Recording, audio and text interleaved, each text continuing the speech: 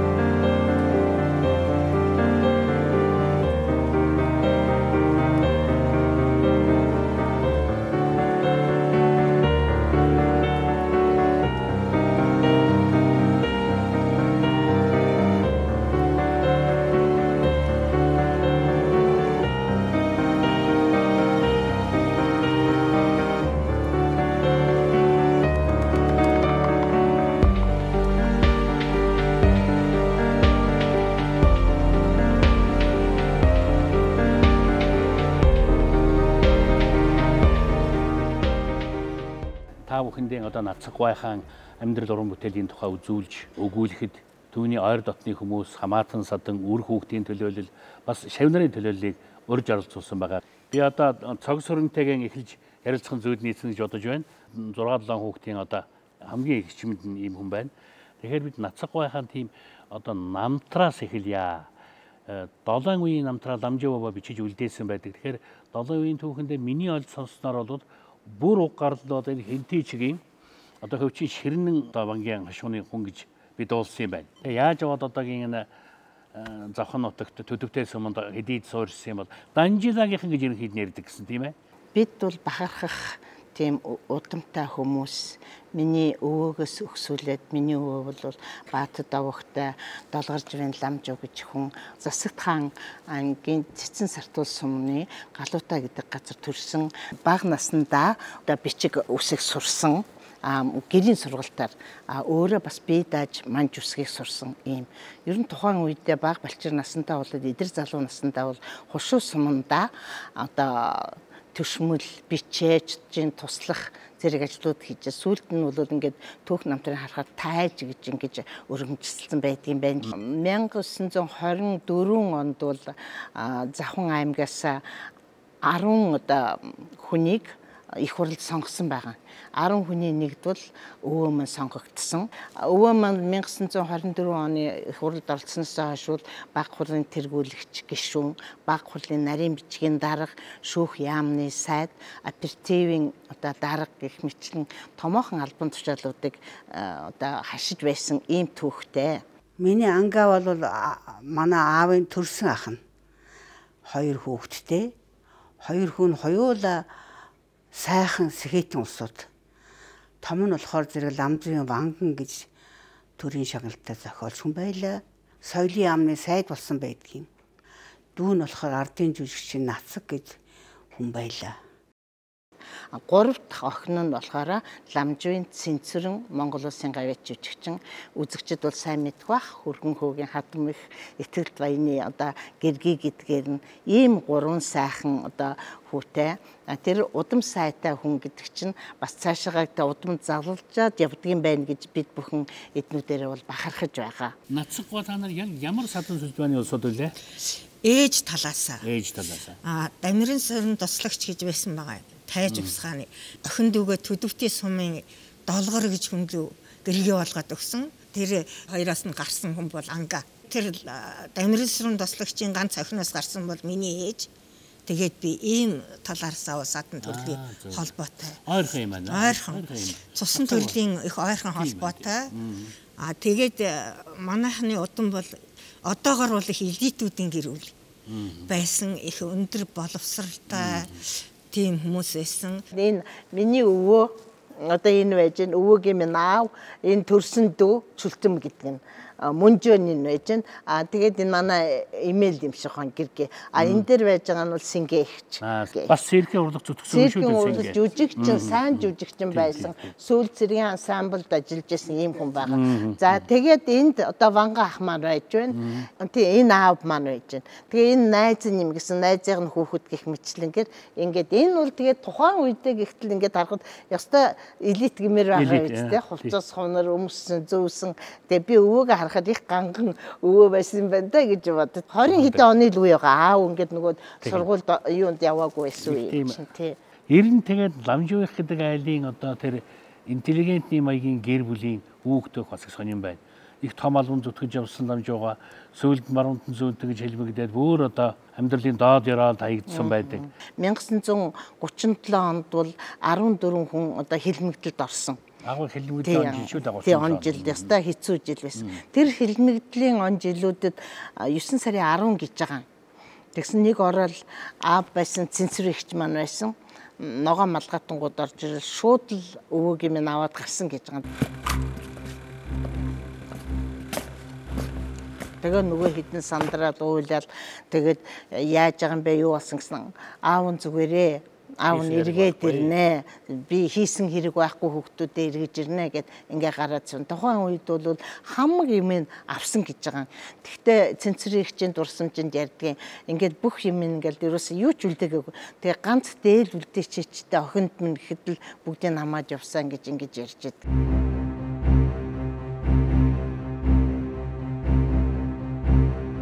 Тэгэд манай анга шагдар гэдэг нэг хүн хоёр хоёулаа цаазаас ягаад 10 жилийн яс цоожин суусан байдгийг. Энийг ийм түүх ярьж ирснийг би санаж байна. Маршал цирк үзсэн гэсэн. Маршалыг цирк үзэлт нь манай нацаг ханга хоёр хоёулаа циркийн жүжигчин болсон, тоглосон гэсэн. Тэгээд энэ хоёр хүүхэд одоо хэний хүүхдүүд юм бэ гэж. Яагаад нэг лөмбөө хэрэгт шорон суулж байгаа лам зугаан хүүхдүүд шүү дээ гэж. Тэгээд тэр ангаг маань хорогдох өмнө урд жил нь эхнэр нас орсон гэсэн хоёр хүүхдийн ээж нь. Тэгээд өө тийм үү. Тэгвэл энэ хоёр нялх хүүхдэн байдаг юм бол цаазын өршөөгөөд 10 жилийн яс цааж өгөө гэж шийтгэжсэн гинлээ. Тэгэл хоёр хүүхдийнхээ ачаар би гарсан шүү гэж ярьдаг байсан. Өөрөө бүр дэрийг би сайн санаж байна. 1962 оны хэдэн сарын би одоо би бас санахгүй цагаатлаа гэж чигтэйхэн баяртай орж ирсэн ангагийн цагаатлаа цагаатгалын өглөөг л барайл бүчтэй их баяртай орж ирснийг би сандгийн.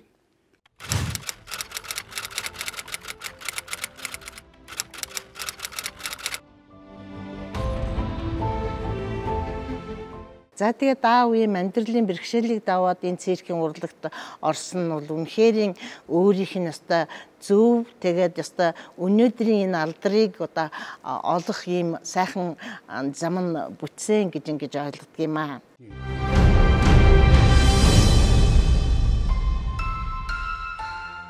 Улсын циркийг үндэслэн байгуулагч энийг ламжийн нацад бага наснаас эхлэн циркийн урлагтай амьдралаа холбожээ нацгийн циркийн урлагийг хөгжүүлэхэд хийсэн бүтээсний тоосноос хийж үзээгүйг нь хэлбэл амархан байхаа. Нацаг алиалагчаас усад циркэд хүн биеэрийн хийж болох бараг бүх үзүүрт амжилттай оролцсоор саяхан 50 нас хүрлээ. Циркийн урлагийг хөгжүүлэх хэрэгтэй байгуулсан гавьяагийн үндэж түүний 50 насны өг тохиолдуулан бүгд наримдах Монголоор дүүсийн ардын их хурлын тэргүүлэгчдийн зарилгаар ардын жүжигчин гэдэг хүндэт цолоор шагнасан bijээ. Нацгийг ардын жүжигчин гэдэг өндөр нэр хүндтэй цол хүртсэнд нь түүний нөхөд шагнар түүний багш зөвлөлтийн циркийн нэртэй зүтгэлтэн Волошин нарын зэрэг олон хүн баяр хүргэсэн юм.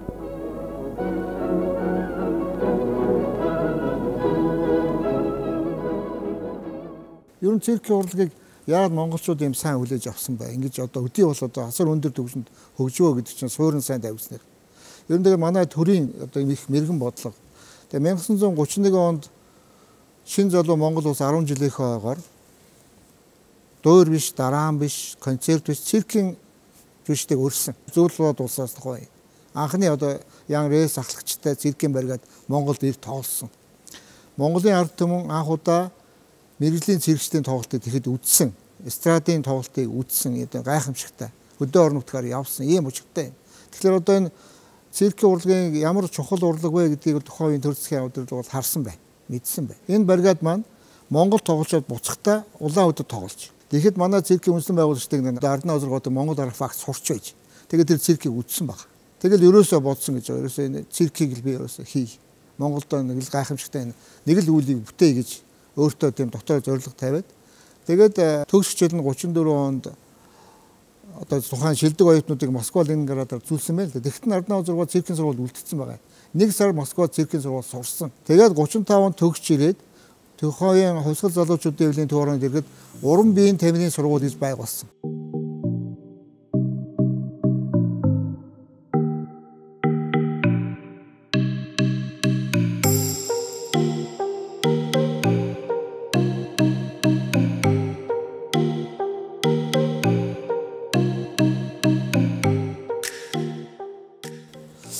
Ингээд уран биеийн тамирын сургууль маань ажиллаж байгаад Москвад 3 хүн шилж одоо мэрэгжлийн чирэгсэн биш бэлтгэх гээд шүү дээ. Явуулсан 2 жил сурсан, маш амжилттай сураад Нацгоо шарднаас руу гомбоо оруу сурж ирээд тэгээ 38 он төгсж ирээд улсын төв театрын хажууд циркийн анги гэж байгуулагдсан. Маш шилдэг тэргүүнээс ихэдэн залуучуудыг тэр ангид илсүүлсэн. Тэгээд 39 онд Александр Маркович Волошин гэж одоо циркийн зүтгэлтэн байна. Монголд одоо нэг баригад ахлаад ирсэн. Ер нь тухайн үед дөрвөн удаа баригад ирсэн байдаг. 31 онд, 34 онд, 36 онд, 39 онд. Тэгээд энэ Волошингой тухайн одоо өрлөгжинжин Маршал Чаусантай уулзуулсан баг. Монгол улс циркийн урлагийг бий болгох талаар маш нухацтай ярилцсны үндсэн дээр төрөөс циркийн сургуулийн байгуулах нь зүйтэй байна гэсэн ийм одоо асуудал яригадаад тэгээд 39 онд сайдны зүйлийн тогтоол гарч 40 оны 5 сард цэгийн сургуулаа нээх гээд дараа амжилтгүй 8 сарын 12-нд 40 оны 8 сарын 12-нд цэгийн сургуулаа байгуулад тэгээд 41 онд Монгол улсын 20 жилийн явгаар Ярамгийн одоо задгай талбайд амфитеатр анх барьсан. Тэр театрч ерөөсөө 3 сараас 7 сарын хугацаанд 3 сарын хугацаанд барьсан байгаа шүү. Зөрөөс маш богино хугацаанд тийм гоё театр барьсан. Тэгээд тэнд анхны тоглолт циркийн тоглолт болгоод манай нацэг өгшмөн тэнд одоо оройлон оролцож одоо анхны 3 шилдэг үзүүлбэрүүдийг хийж найруулж одоо элбийн ухааны тоглолтын дээр хийж ирсэн. Ийм төвхтэй суурь нь тэг тавигдсан байх нь шүү дээ. Монгол тэг тавигдаад одоо гайхамшигтай. Наадмын өдрүүдэд манай циркийн жүжигчид чадварлаг тоглолтон үзүүлж байлаа. Жүжигчин сандаг ба түүний сургуультай тэмээнүүд.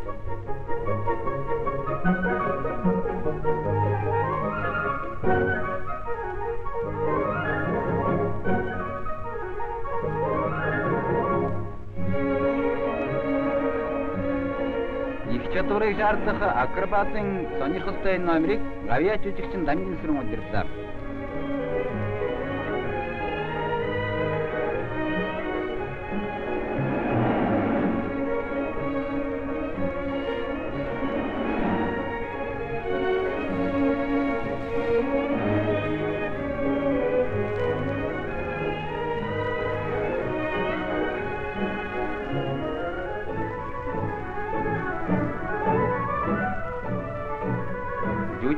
шалгаажив. Авиач жүжигчин Ирина нар агаараар татсан утсыг дамжиж үзүүлжээ.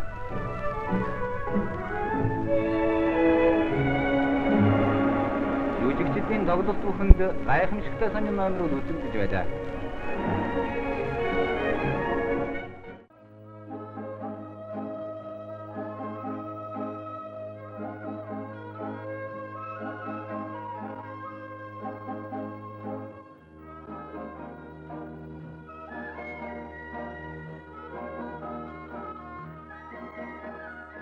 Үзэгчтэй бид одоо хуучны зүүн хүрээ буюу өдгөөгийн дашчойлыг хийдийн хажууханд нэг юм хуучин барилгын үүдэн зогсож байна. Монгол улсад анхны мэрэгжлийн цирк байгуулагдсан үйл явдал тартай өнгөрсөн зууны 30-аад оны төгсгөл 40-аад оны эхэн үе. Бөмбөг наган шатрын дэргэд уран биеийн тамирын бүлэгмийг үүсгэн байгуулсан Арднаа Базар Нацаг гомбнаар мэрэгжлийн хэмжээнд циркээ хөгжүүлэхэд мэрэгжлийн циркийн барилга хэрэгтэй байлаа. Чухам энэ үйлсэд зориулаад тухайн үед Герман улсад зам гүүрийн барилгын инженер төгссөн бас циркийн дагшаа найрал хөгжмийн хөгжимчин хожмын ардын зураач Намхаа Цэрэнгаа энэ барилгыг циркийн барилга болгож зассан. Энэ дугуйн байсан барилгыг циркийн барилга болгож засснаар циркийн урлаг хөгжихэд нэгэн морины хүчин өргөсөн гэж хэлж болно. Улсын сүрсийн анхны байр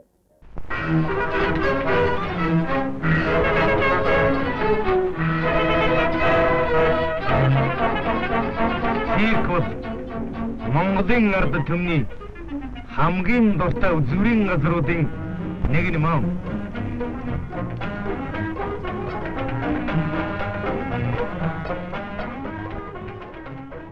Ер нь бол өнгөрсөн зууны 30 40 онд Монгол улсад циркийн урлаг үүсэн бий болсон гэдэг бол Азад баг анхны циркүүд нэг биш үү? Аз ч Европч одоо бүгд хятад зодон бол маш тэнцвэрэн эртний улбаатай. А гэхдээ яг мэрэгжлийн үүднээс сургуулийг байгуулад тэгээд үргэлжлүүлээд явна гэдэг бол анхных болж байгаа. Ер нь бол зөвлөлт холбоот улсын циркийн урлаг судлаач Юрий Димитров гэдэг хүн Монголын цирк бол сонгодог хэлбэрээр өссөн гэж дүгнэдэг. А яагаад гэвэл бусад орнууд одоо нүүдлийн циркийн хэлбэрээр, гудамжны циркийн хэлбэрээр үүссэн тоглосон тэр циркийн хөтөлбөрт циркийн урлагийн бүх төрлүүд орсон. Тэнд бол амтэн, элев, жонглер, акробат одоо бүхэл төрлөөр орсон тийм бүрэн хэмжээний программыг Монголын ард түмэнд толиулсан учраас Монголын циркийн урлаг сонгодог хэлбэрээр үүссэн гэдэг. Монголд байтугай Аазда сонгодог хэлбэрээр үүссэн юм байна.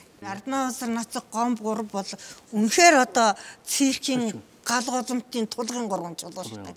Монголд байхдаа авахулсан зураг байна явхаас өмнө гэж байгаа. Дараа нь нөгөө сургуулаа төгсж ирээд авахулсан зураг нь бол шал ондоо байгаа ш. Тэгэл бас соёл те энэ юм гэдэг чинь хүнд ингэж хүрчүүлээ. Өс засалт ингэж байж байгаа тэр зураг авахулсан энэ төр нь хүртэл ондоо байгаа ш. Их хөөрхөн хөө байж. Ганган ганган.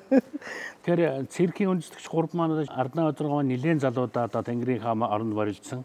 За тэгээд 60-аад оны төгсгөл хүртэл гомбогоон байж тэгээд нацаг гой маань одоо бүр 1984 оны хүртэл энэ циркийн хаврлаг зүтгэхтэй зээсэн гавьяа бол асар их юм. Одоо чинь тэр анхан үедээ зөвлөлт толгой тусаас мэрэгжилтийн урих, жааз хөгжмийг байгуулах, тэгээд мэрэгжлийн циркийн урлагийг бүрдүүлэхэд одоо шийдвэрлэх л үүрэгтэй зүтгэж явж тэ. Энэ гурван хүний байгуулсан энэ ачаар Монголын цирк бол 81 жилийн түүхэндээ одоо маш олон төрлийг бий болгосон циркийн урлаг бол өнөөг хүртэл одоо дэлхийн тавцан дээр гайхамшигтай бүтээлүүдээрээ гайхуулж яваа. Завхан аймгийн төв Явхлан тод. Манай нийслэл хотын циркч нар орон нутагт нүүдэллээ явж алс хотын аймаг орны ард түмэнд өөрийн эрхийг чадамгай уран гоёмсог номеруудыг үзүүлэн сонирхуулж байна циркийн баригад Увсан аймагт баригад дээр тоглож байгаад замдаа Завхан аймгаар дайраад ирсэн чинь нэг эмэгтэй нэг охины шалгуулыг гэдэг шар шарвартай охины шалгуулж байсан. Тэр нь хожимын ардын чинь орон самбуу байсан юм аа гэд. Тэгээ явж явж та нар чинь бас уран төрлийн нарийн нанд холбоотой улсууд, садан сүлбэний улсууд. За 1958 оны одоо хавар тэр эндгийн мэдгийг тоглоод ирсэн. Урлагийн мастеруудын дорсон гинсам дээр ирсэн. Тэгээ манай сургуулийн биеийн тамирын багш Нямдаш багш манай ээжтэй хамт яваад мажистр багш намайг шалгуулсан юм байна. Тэгээд тэр баригадыг соёлын ааны боловсон хүчний эрхлэг Балчинд орж гэж хүн авч авсан байхгүй. Тэгээ Улаанбаатар дээрээ тэр цирк циркийн дарга марга нарт одоо энэ завханд нэг юм хүүхэд бай, ийм урдаг хүүхэд байна. Энэ танайд хэрэгтэй бол одоо татаж авахгүй юу гэж хэлсэн юм билээ. Тэгээд наадмаар нэг бичиг очисон юм байгаа. Одоо боломж байвал Улаанбаатар тэр ч хүүхдээ сургано цирк гэж. Тэгээ манай ээж бол э, тэр холоос э, намайг аваад хотод ирсэн л дээ. Тэгвэл юунд одоо бараадж ирсэн бөгөөл ламжаа анга э, нацаг банкн энэ гурван айлыг бараадж ээж маань хотод ирсэн л дээ. Тэгээд би бол одоо тэр холоос ирээд энэ циркийг үндэслэн байгуулагчийн хүний одоо энэ байгуулсан урлагийг урлагт хөл тавьж залгамж халаан болж орж ирсэн даа их бахархаж байдаг л та баяртай байдаг. Өөрөө чинь навшахаа гэж очилдог байсан гэсэн тийм ээ. Ерөөсөө ангаах нацаг ах энэ тэр намайг навшахаа гэдэг байсан те. Миний жоохон жоохон тэгэл навтар амартай болооч тэр юм уу навшахаа л гэдэг дууддаг. Та одоо энэ циркийн урлагтаа яаж яваад холбогдчих вэ? Нацаг ушигаа ирнэ хэдийнээс мэдхүү. Нацаг уштай бол би нэг үерхэж байсан. Болдоотой. Тий. Тэгээ хоёулаа нэг юм пүнзэнд одоо жижиг одоо энэ нэг э, замын түүснүүд шиг нэг тийм юм хоёулаа амьдардаг. Тэгээ наац үгүй өглөө орж ирнэ. Өө нөгөө хоёр ч унтчил байх шивдэ энэ төргээл хоол ийлэхүү энэ төргээд тэгээ бид тэр заримдаа хоол хийж өгнө. Гэ та хоёрын чинь дөрүүлэн байгаа юм гэсэн ч үгсэн хоёулаа байж үт юм байна шүү дээ. Тэр гээд тийм ерөөсөө нэг ил задгаа ярьтай. Найз гэж та намайг найзаа найзаа тийм найдар. Их тийм дотносог нэг бодлын аав тийм ээ одоо яг одоо энэ хүнд бол одоо аргагүй одоо эцгийн ясаар ярьж байна гэдгийг бол ойлгож хүнд ойлгуулдаг. А тэр найз гэдэг байгаа үг чинь бол их сайхан тийм их дүт. Хүнийг ингэж санааг нь дэлгэрүүлж өгдөг. Ийм л яриатай хүн л дээ.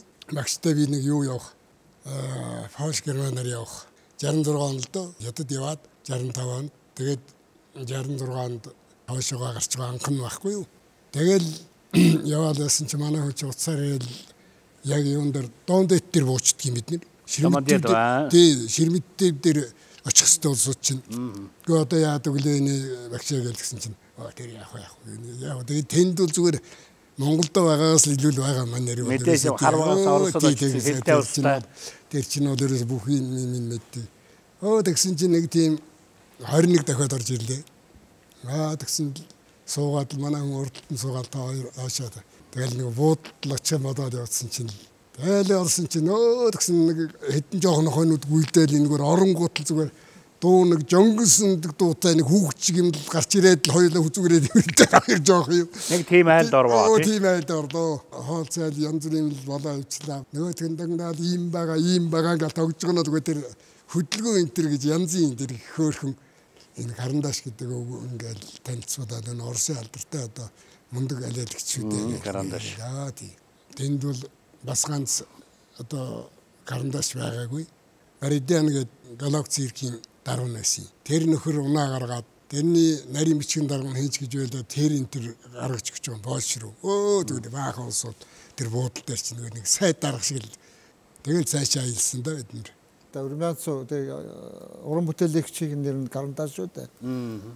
Зөвлөд усан ардын жүжигчин дөрөв зөвлөд шагваантай. Тэгээ нацаа биш ямар их дэлхийн энтэй хүн байсан бэ гэдгийг мэдчихэж байгаа. Ер нь циркийн жүжигчд бол найзууд болдог одоо олон улсын тоглолтоор ингээл энд тэнд олон сар жилээр цуг гадаадын олон хүмүүс бүгдээрээ нэг гэрүүл болчдөг байхгүй юу. 38 онд э, Москвад одоо сургууль төгсөхт нь тухайд Москвагийн нэгдүгээр цирк гэж нэрлэдэг байж. Ленин одонд нэгдүгээр цирк гэж. Тэрэнд тоглосон манай гурав. Тэгээд Урмянцевтай тэр чинь ажиллаж болцсон байсан. Тэгэхэд цуг тоглож ил дээ. Тэгээд найз болохгүй гэдэг чинь. Асар баг нялх багаасаа тэр чинь найз учраас одоо Москвад өчтөө багтаа очихдоо гэрт нь шууд бууж шít төрийн сайд очиж байгаа юм шиг хүлээж авч. Тэгээ Польшид очиод бид нар чинь 2 сар тоглох хэрэгтэй байсан. Тэгээ багш бид чинь нэг өрөөнд хоол их сайхан хийн багш. Тэгээл би өнөө юмудаа ингээл орчих чинь ингээд юугаа ихнэ гэж байхгүй юм хуцсанараа. Тэгээ овоолмж өнөр өгцсөн. Овоолмж. Тий, тэгээ хэнийг хэн гэдгийг ихээр нөгөө Польшуудаа ууланж өгдөг. Ууланж ууланж өгдөг дууд нөгөө дүүч би тоогч. А ингээл явж өгдөг тийм л их хөгжилтэй. Ер нь ингээд цүг явахд байж тээ их тийм халуун дулаан нэрхтэй их гоё. Тэгээд хүүгээ санаж байна. Али би ерөөсөө хоёулаа цуг унтдаг юм уу энэ төр гэдэг нь өө би шос жаахан. Тэгээд нэг үргэлж инээдэм. Тэгээд одоо бэлтгэлийн гэхэд ч одоо хүний ч бэлтгэлийг нэг шахдаг штэ. Тийм биш. Али али чи нэг тэгж али нэг намайг нэг хэд өргөөх. Ингээл хөвчгээл стой хийчихэл над дээр наадгаагаа нэг 15 хийж чадахгүй гэл. Тэгэл би ч одоо 15 ингээд шахал шүү дээ миний өөр юм их айхтар бодно. Маргааш юу их гэдэг төлөвлөгөөг бодно. Би тэр одоо маргааш юу хийх вэ? Мэгүний яалах вэ? Ийх үү? Эдэртээ яаж яриулах вэ? Энэ залуучуудтай яаж та танилцуулах вэ? Жин добрый гэл одоо Польшорч сайхан зааж өгнө шүү дээ. Нөгөөдөл чинь тий. Хэлний хавьяастай хүмүүс Оросоор бол мэдээж нэвтрэх. Тэгээ очисон орнуудынхаа хэлээр ямар хэмжээгээр ярьждаг байсан. Польшоор энэ төр. Тий, Польшоор бол амархан юм байна эдний хэд чинь гэсэн. Тэнд нэг манайхан нэг ски залгаад болдог шиг сэтгэл ухаантай юм ярина штэ. Тэгээд дорол чөлөөт ярьдаг болсон байхгүй юу?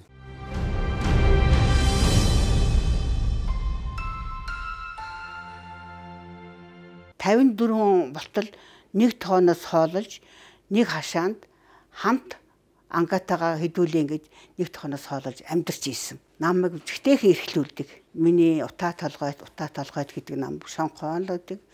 Миний төрсөн дүү алтан үлзийгээд гавьяат 50 онд төрсөн. Тэгээд ер нь битээр төрсөн цагаас эхлээд хоёр ахтай эрхэж өссөн. 52 онд намайг сургуульд ороход хүүхдүүд дайлын бомб лаачсан. Бор дайлмын плач гэж өмсдөг. А би болохоор зэрэг хоёр ах маань гадаад дандаа явдаг. Орсын хүүхдийн плачтай.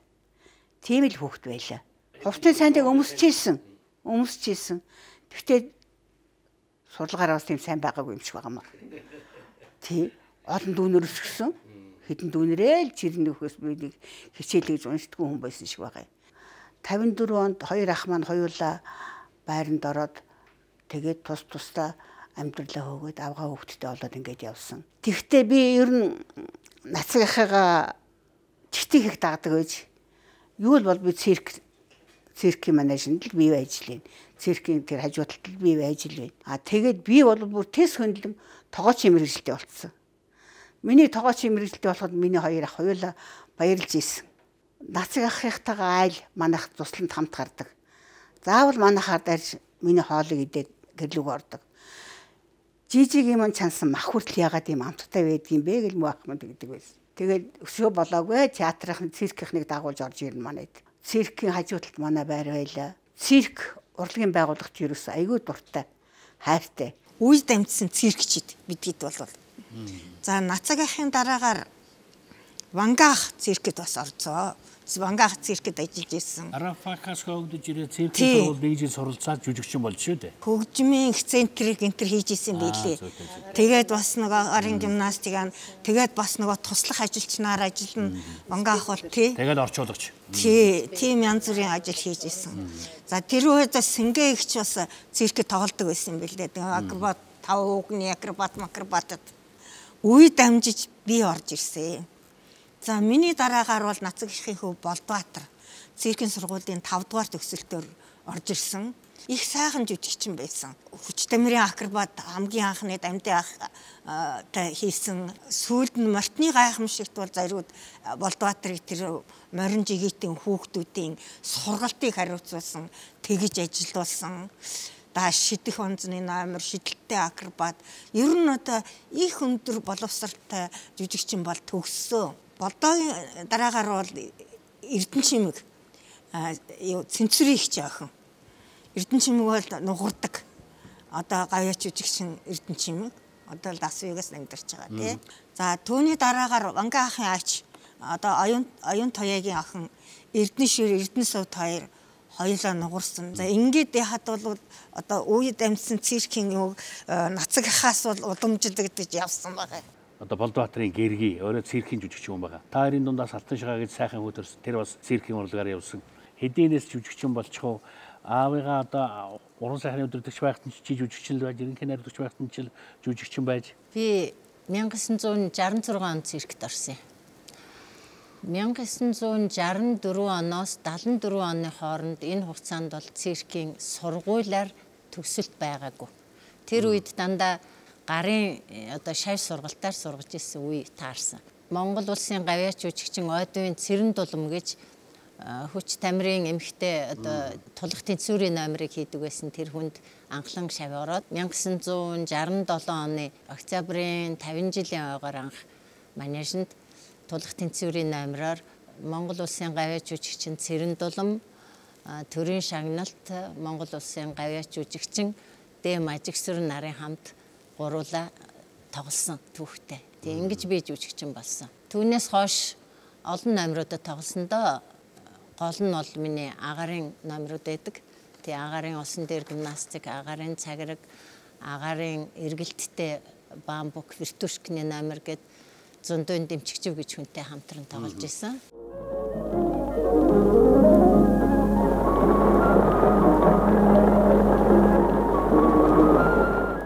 Үед бол аав найруулагч, уран сайхны удирдагч ийм албуудыг хашдаг байсан. А тэр үед бэлтгэгдчихсэн номеруудыг найруулах, тэрэнд одоо зөвлөгөө өгөх, багшлах тэр ажлуудыг давхар хийжсэн үеийн таарсан. Аавын одоо цирк талаас үргэлжлэл нь бол Болдбаатар. Тэр олон хүүхдүүд дотроос Болдбаатарыгаа сонгож бас яг цирк рүү авчирсан байдаг. 59 онд авчираа 64 оны төгсөлтөөр одоо энэ хэшигтэйгээ эднэртэй хамт төгссөн.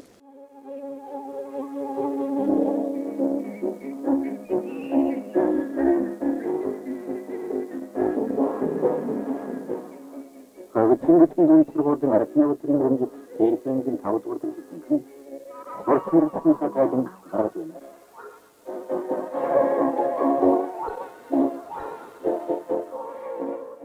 Циркийн 5 мэрэгчлэр бүгдээрнгээр номер хийжсэн. Аавтайгаа хамт хөгжмийн их центр хийсэн. Агаарын гимнастик, жонглер, тэнцвэр, хүч тамирын, мортны эдэргээд ингээд циркэд гурван гайхамшиг байдаг. Гайхамшигтай номерыг л гайхамшиг гэж нэрлэдэг. Хүч тамирын гайхамшигын анхдагч, мортны гайхамшигын бас анхдагч. Тэгээ ер нь энэ аавынхаа бүх чанаруудыг авсан байгаа нь гайхамшигтай. Одоо хөгжим уралдаг тийм ээ. Өөрөө номерынхаа имийг төсөөлдөг, зурдаг. А өөрөө уран бүтээлээ хийдэг.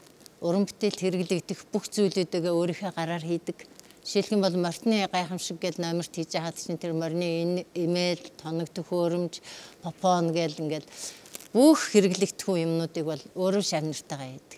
Тэр үеийн хэл туурайг энэ хүртэл застдаг а өвдсөн морио эмэндэг. Энд би ганцхан жишээ хэлэхэд бид нар солонгос тоглож исэн, болд энд үлдсэн байсан. Хүү маань тэнд морио тоглуулж исэн. Тэгсэн нэг бор морио дэлгүүрсэн. Тэгээд яаж чадахгүй өстө нүдэн дээрээ харж байгаа л өхүүлэх болж байгаа байхгүй. Тэгээ миний хүү уцаар ярьсан. Ааврага ингээд энэ одоо ингээд твтчихэд босдгүй. Солонгосын эмчнэр нь чарга хэмжээ авч чаддгүй. Тэгээд болд хэлж гин харж байгаа өхүүлснээс хатгаад алчхаа Тэгээд э, дугуйны хигээс солонгосын хамгийн өндөр градустай сөөж үгээ 40 градусын арх. Тэгээд нөгөө газын плитик.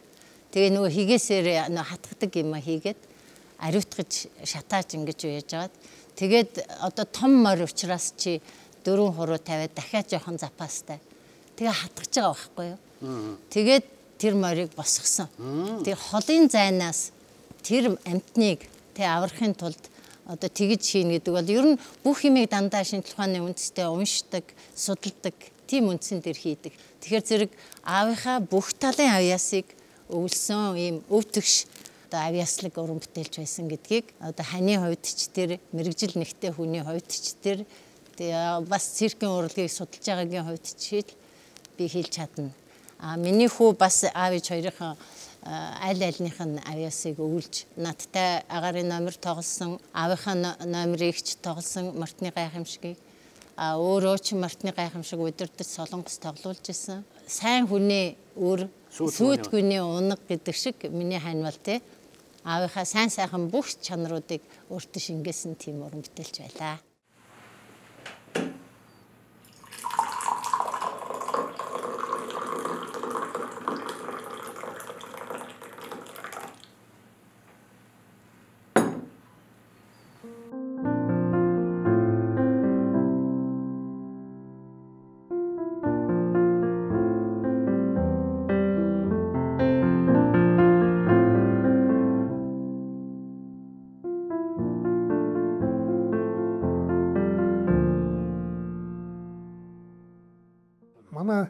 одоо хамгийн том их чинь орос хэлний багш цогцсон. А болдох циркийн жүжигчин байсан. А гамболдох хөгжим мужийн сургууль төгсөөд хийлчээр дуурин театрт байжгаад гарсан. А тэгээд би бол үлгэрчийн хөгжимд 71 онд ороод 94 онд тэтгэврт гарсан.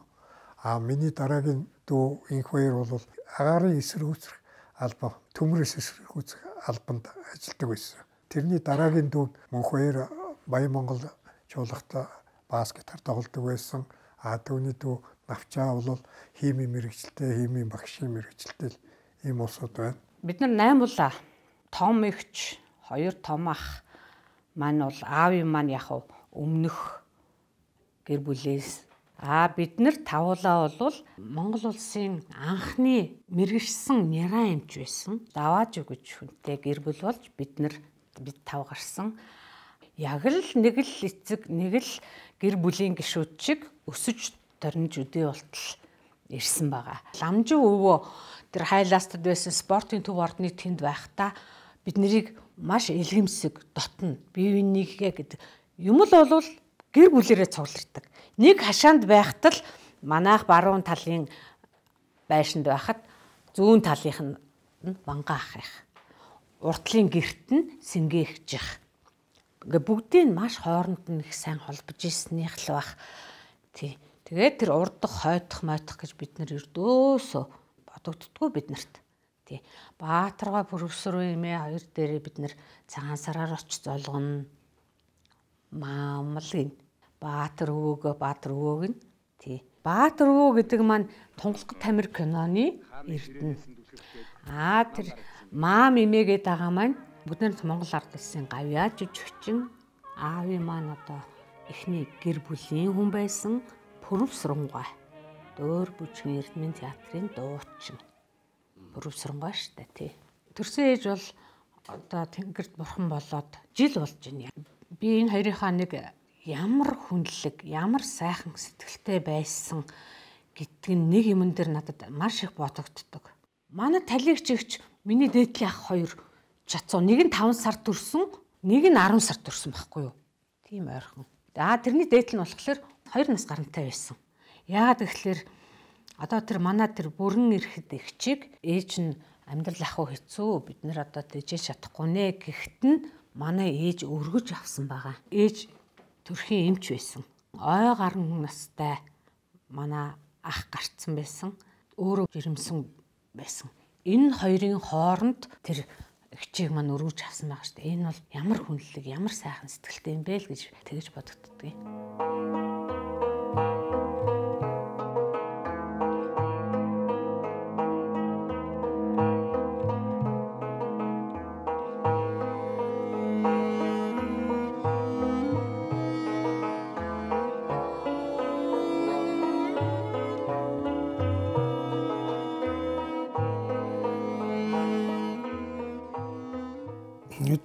Насны л зураг. Аа ээж тэгэл том ах энэ хоёр чимгээгээд байсан. Энэ миний зураг энэ навчаа юм аа дөө.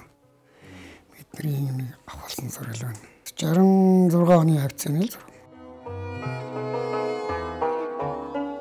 Мандлинаас хуулаад гитар, хуучир, нуран хуур, дөлдөр хуур бүгд л байдаг байсан тэгэл өөрөө бас хуучир их тоглолчт нь аккордеон тоглоно. Ерөөсөө төгөлдрөөр дээр за энийг тоглолчих гэвэл ер нь тоглолчих шүү.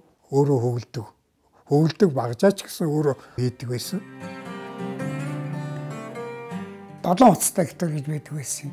Одооны энэ 6 уцтай гитарын хөг биш Орос гитар чинь өөр хөгдөг. Хойно Орос сурж байхдаа тэр хөгөөр хөглөж тоглодог байсан одоо энэ style гэдэг тийм тэр үеийн л одоо тийм арга барилаар тоглолт л байсан шүү дээ. Би одоо анхны сурсан юм бол тэр долоо уцтай гитараар тийм аавын тоглож исэн юм тоглолдог. Анх сурч исэн. Тэгэл ер нь хөгжимчин болох л тийм их хүсэл мөрөөдөлтэй л. Тэгээ цэргийн албанд явахдаа хөгжмийн салонд орцсон юм Тэгээд тэнд ноот мот анхны шатны юм суралцж ирвэл тэгээд зэрэгээ салгаж ирээд шууд Баян Монгол чуулгад хөгжимчин аавна гэсэн зар байсан. Тэгээд өөрөө очиж шалгуулж байгаа л тэгэл орсон даа. 82 онд ороод тэгээд 93 он хүртэл тэгсэн хэрнээ хөгжмөн хаяагүй тэгэл тусдаа хуваараа нас нартай хамтлаг байгуулаад пауз хамтлаг гэдэг одоо хүртэл байж байгаа. Энэ урлагтай холбогдсон нь бол аав минь ач тус гэж би бид нар бол боддог л доо. Тэгэд одоо би бол яг энэ гобэ хөгжим мөр хөгжимчин хийдэг байсан. Одоо гобэ гэдэг энэ хөгжмөр 1971 онд одоо зэвсгчний жанжинштай үлэрч хөгжимд хөгжимчнөр ороод 94 он хүртэл энэ хөгжмийг тоглосон доо энэ хөгжмөө. Одоо бол тэгээд улс мус байхгүй одоо тоолохгүй олон жил болчихлоо доо.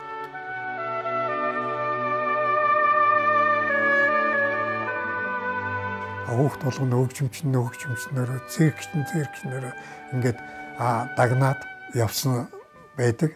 Өөрийнхөө хүүхдийг тийм сургуульд оруулчих, маруулчих. Өөрөө бид нар чинь сургуулаас сонгоод явцгаасан. Цэрч гисэн би өөрөө сондлаараа тэгэл явсан. Манай аав чинь тэр үед бол татал авал авна шүү дээ. Энийг юм тийм байхгүй. Тэгэл яг л явдаг юугаар нь л зам замаараа тэгэл явц явцгаагаад ирсэн тийм их бол өөрөө циркт байхдаа бол ер нь циркийн манаач дайч хүртэл найз. Одоо мантан маллагч дайч найз. Тэгэл зөвлөгчч байсан тэгэл ер нь тэднийг тэгээ энэ зэрэг зүйл харьцдаг тийм л хүн байсан. Гэртээ яста аав шиг аав хангаа шиг төшгтэй аав байсан. Ерөөсөө их энгийн даруухан илүү дутуу юм ярихгүй өмсөх зүг дээрч тэр ямарваа нэг юм дэр бол яг тийм байдаг байсан. Тэгээд би чинь сургууль төгсчгөөл бас багшийн ажлыг хиймээргүй өөр ажил хиймээр санагдал энтэнд бас нэг ажилд орох га. Тэгэхээр аав чинь нөгөө таньдаг улсууд нь байдаг утастад наа чин димээ хэрэггүй гэл надад чи ястай. Тэгэл чи над ажиллаа хийж ил гэдэг. Тэр байтга би циркийн сургуулийн захирал болоход нь би ингэж хэлсэн. Таны хүмүүжлийн эрхлэгч тэгээ таны юу л хийдгийг тэрэнд чинь хий гэсэн. Чи үтээр нэг дор ажиллахгүй гэж хэлдэг тийм юм байсан.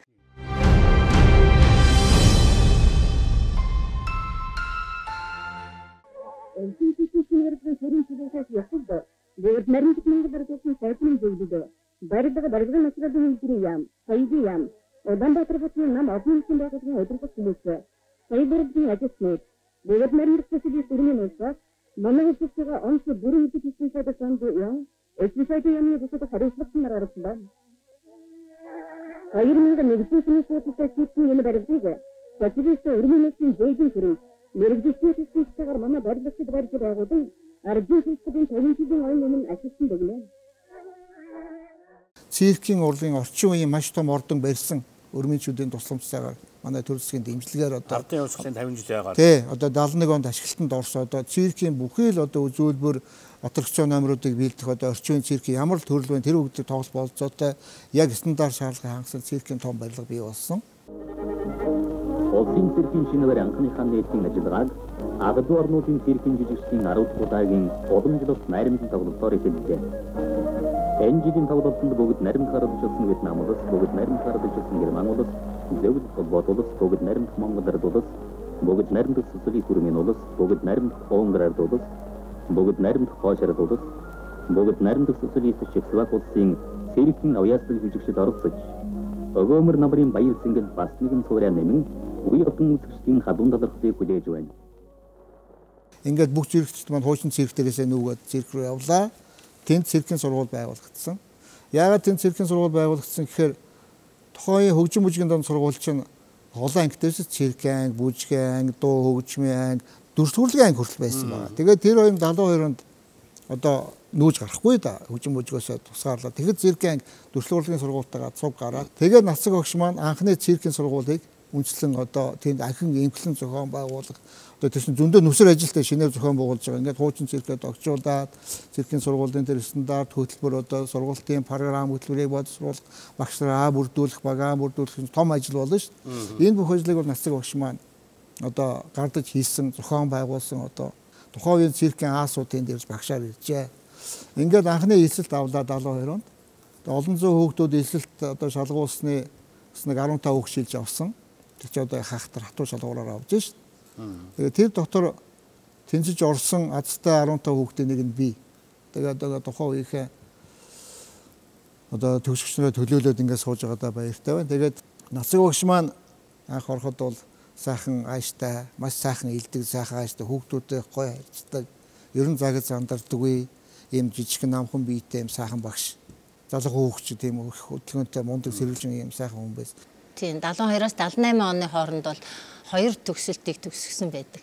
Энэ төгсөлтийнх нь э, хүүхдүүд бол өнөөдөр бүгдээр мэрэгжлийн багш нар болсон алдар гавьяа хамт хүрсэн мэрэгжлийн тийм боловсон хүчнүүд болж хүрсэн байгаа нь одоо тухайн үед тэр захирал нь болон мэрэгжлийн багш нар бол ямар их сайн боловсон хүчнүүдийг бэлдэж байгаа вэ гэдгийг харуулж байгаа хэрэг. Нацаг багш маань зөвхөн циркийн жүжигчин захирлаас гадна одоо өөр их олон юм хийдэг хүн харагддаг байсан. Бид нар төгжим мөгжим одоо зааж өгөн төгөл дуруура хөглөн өөрөө тоглож үзүүлэн дархан мужаа хийн одоо зураг эскиз хийн. Тэгээд нэг ажиллаж байхад бол яагаад нацаг багш тэр сургуулийг байгуулсан бэ? Яагаад ахид зохион байгуулж эмхэлсэн бэ гэдэг учир нь циркийн стандарт шаардлагаас том барилгатай боллоо гэж би ярьсан энэ тоглох чадвартай мэрэгжлийн жүжигчдийг бэлтгэх хэрэгтэй. тэр дотор одоо бүхэл атракционыг хийх шаардлагыг хангахгүйс жүжигчдийг бэлтгэх хэрэгтэй байна шүү. Тийм учраас тухайн үед агуу их хүн одоо насаг өгшийн маань тэнд захирлаар тавьсан. Насаг өгш бодлогыг боловсруулсан. Циркэд тухайн үед шаардлагаж байгаа ямар одоо жанр төрлүүд байна. Тэр бүгдийг гүйцээж их жүжигчдийг бэлтгэх учиртай. Насаг өгш найруулдаг зөөлдөг, зураг эскиз нь гаргадаг, одоо хувцсны эскиз бүх юм дээр яадаг, одоо онцгой их хөвний үр үзүүлсэн юм найруулагч, уран сайхны өдөртөгч, багш, хөгжимчин, зохиолч, зураач, мужаан, дархан, цахилгаанчин одоо тийм л. Нь циркийн жүжигчин хүн гэдэг бол их олон талын мэдлэгтэй байх хэрэгтэй мэдгийг бид хэд ойлгож байна. Бид нар тэгж ойлгуулсан ерөөсөө.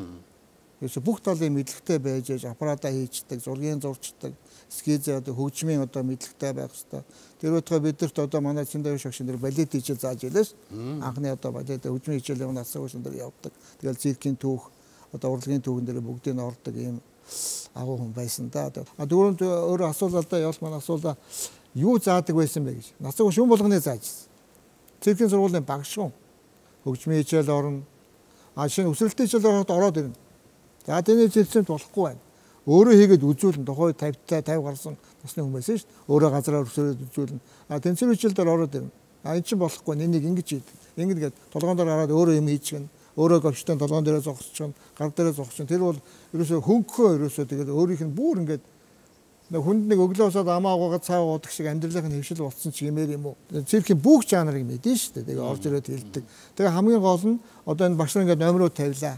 Тэр болгон дээр найруулгын тал дээр нь багш бол зөвлөгөө өгнө хувцсанд ийм байх хэрэгтэй юм байна. Хөгжим нь ийм байх хэрэгтэй юм байна. Хөгжмийн асуурн дээр боловсролтой тэгээ зураг зурна.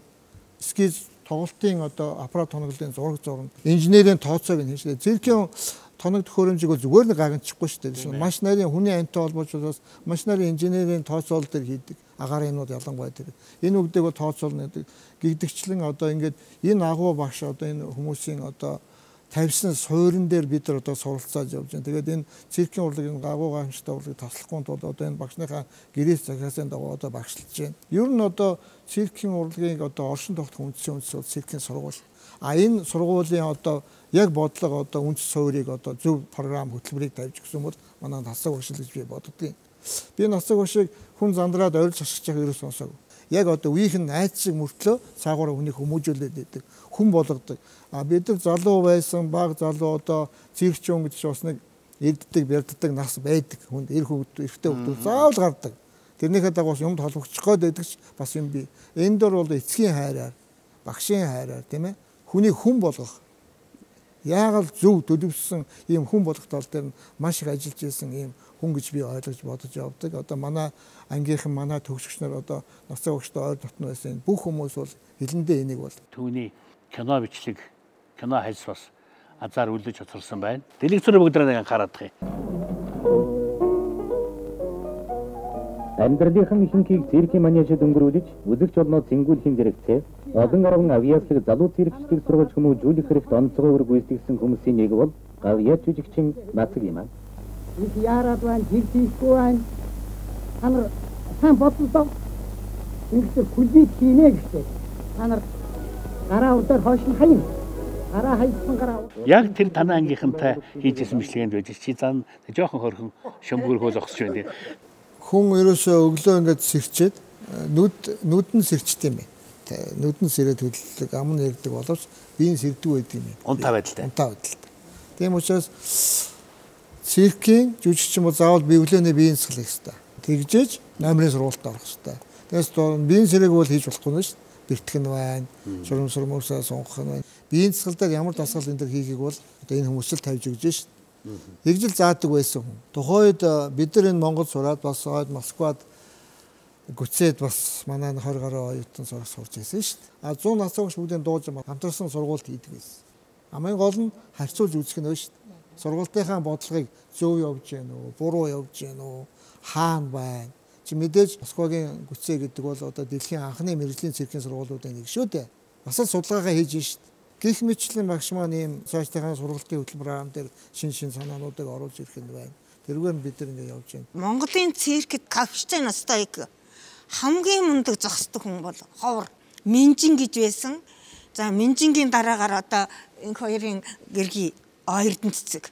Тэгээ хоёр гар дээрээ цогсдгийг бол гарамгаа эзэмсэн гурван хүн байгаа. Энэ нацгаа хөтөөр тавьж хүрцөө хойноож гисэн говьтойны хийж илээдэг хоёр гар дээрээс таг би одоо ингээд сургуульд явах. За чиний сургууль ямар байна те? Али харъя гэдэг.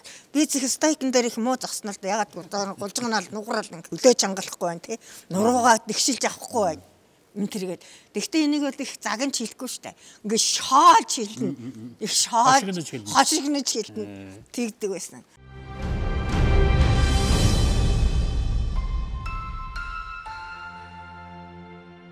За би бол 1954 онд Цэхийн дунд сургуульд орсон юм байна.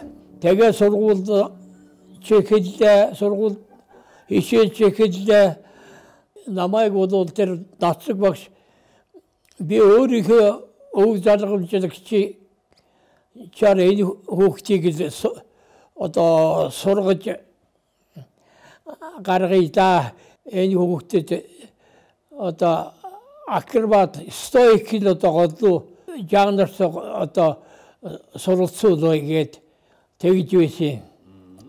Тэгээд надтай ажилласан да. Хийх вэ? Тэгээ өөрөө надад гардаж хичээж эхлэхэд хүрээд ирдэг. Тэгээд яг хөө төгсөлтөөр би нацэг багшийн буянгаар акробат стойк хийдэг мэрэгжлийн хүн болсон юм. Тэн зэрхэн залуурын бүтээчд намын хангар өнгөрөг дугаар сурдаг өгдөг зэрхэн төрөлгийн хүн номруудыг бэлтгэдэг. Үзэгчийн дамжингийн гэр чадна. Намсран зориг тоглолтуудыг удахгүй манай үзэгчд удсын зэрхэн давсан дээрээ сонирхох болно. Тэр мэрэгчлэр явсаар агаад л одоо 87 хүүхдээр тэтгэврт гартлаа улсын зэрэгэд ажилласан да.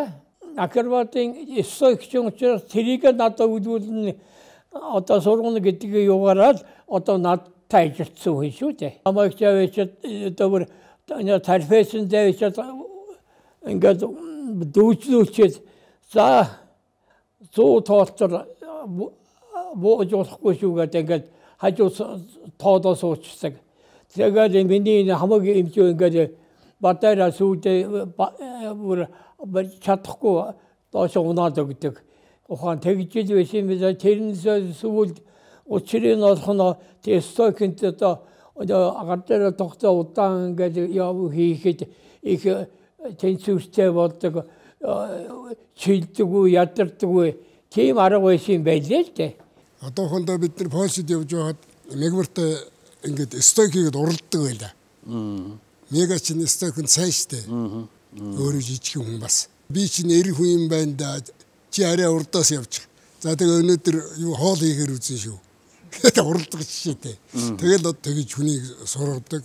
Тэнд нэг мундаг стойктэй нэлээд жинтэй бараг нэг 70 хэлтэй нэг залуу байсан л да. Надаас том өндөр. Чи за чи энийг нэг гар дээр аваад стойк хийц. Одоо энэ зураг нь байна. Наадхыг чинь 10 ингэж жимчих юм л дуртай хоолой чи хийж өгнө гэж байгаа.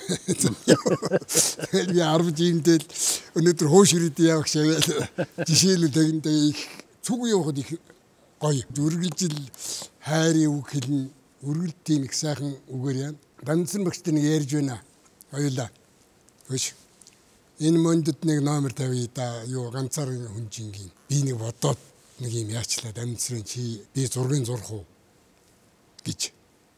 Багш за чи юу одоо алиж над хэлгээл. Яг Сүхбаатарын өшөө шиг ийм тавцантай.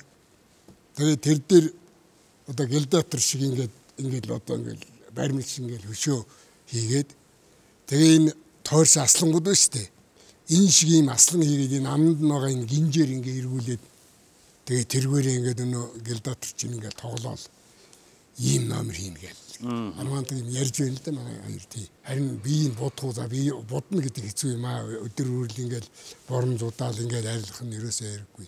Тэгэл ерөөсөө ийм номер хий. Аа тэгсэн ч өнөө аслан гади чинь энэ яддсан юм.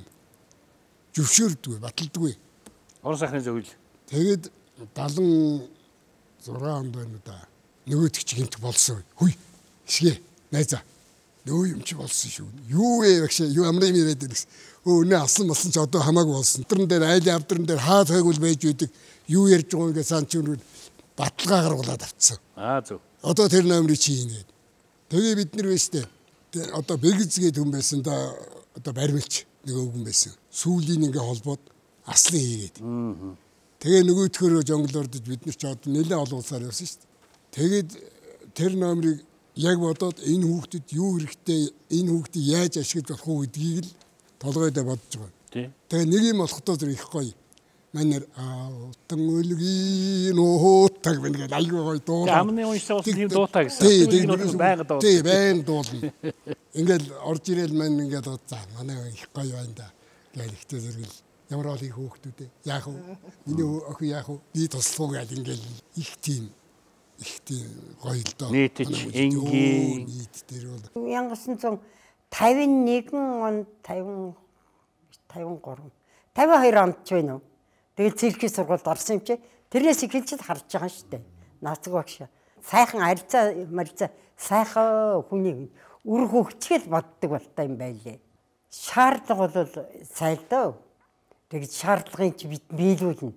Бид бол яста бидний үед чинь тэр багш нар ээж аав энийг айгүй хүндлэн а тэднүүдийн үг бол ёстой жинхэнэ үг л байхгүй үг л хэлвэл тэрийг хүлээж шүү дээ бид бол ерөөсөө заримдаа бүр тэр багш нараас чи хараад айдаг байхгүй. Айгаад барыг зүхтааж явна заримдаа. Энгийн цагт чи.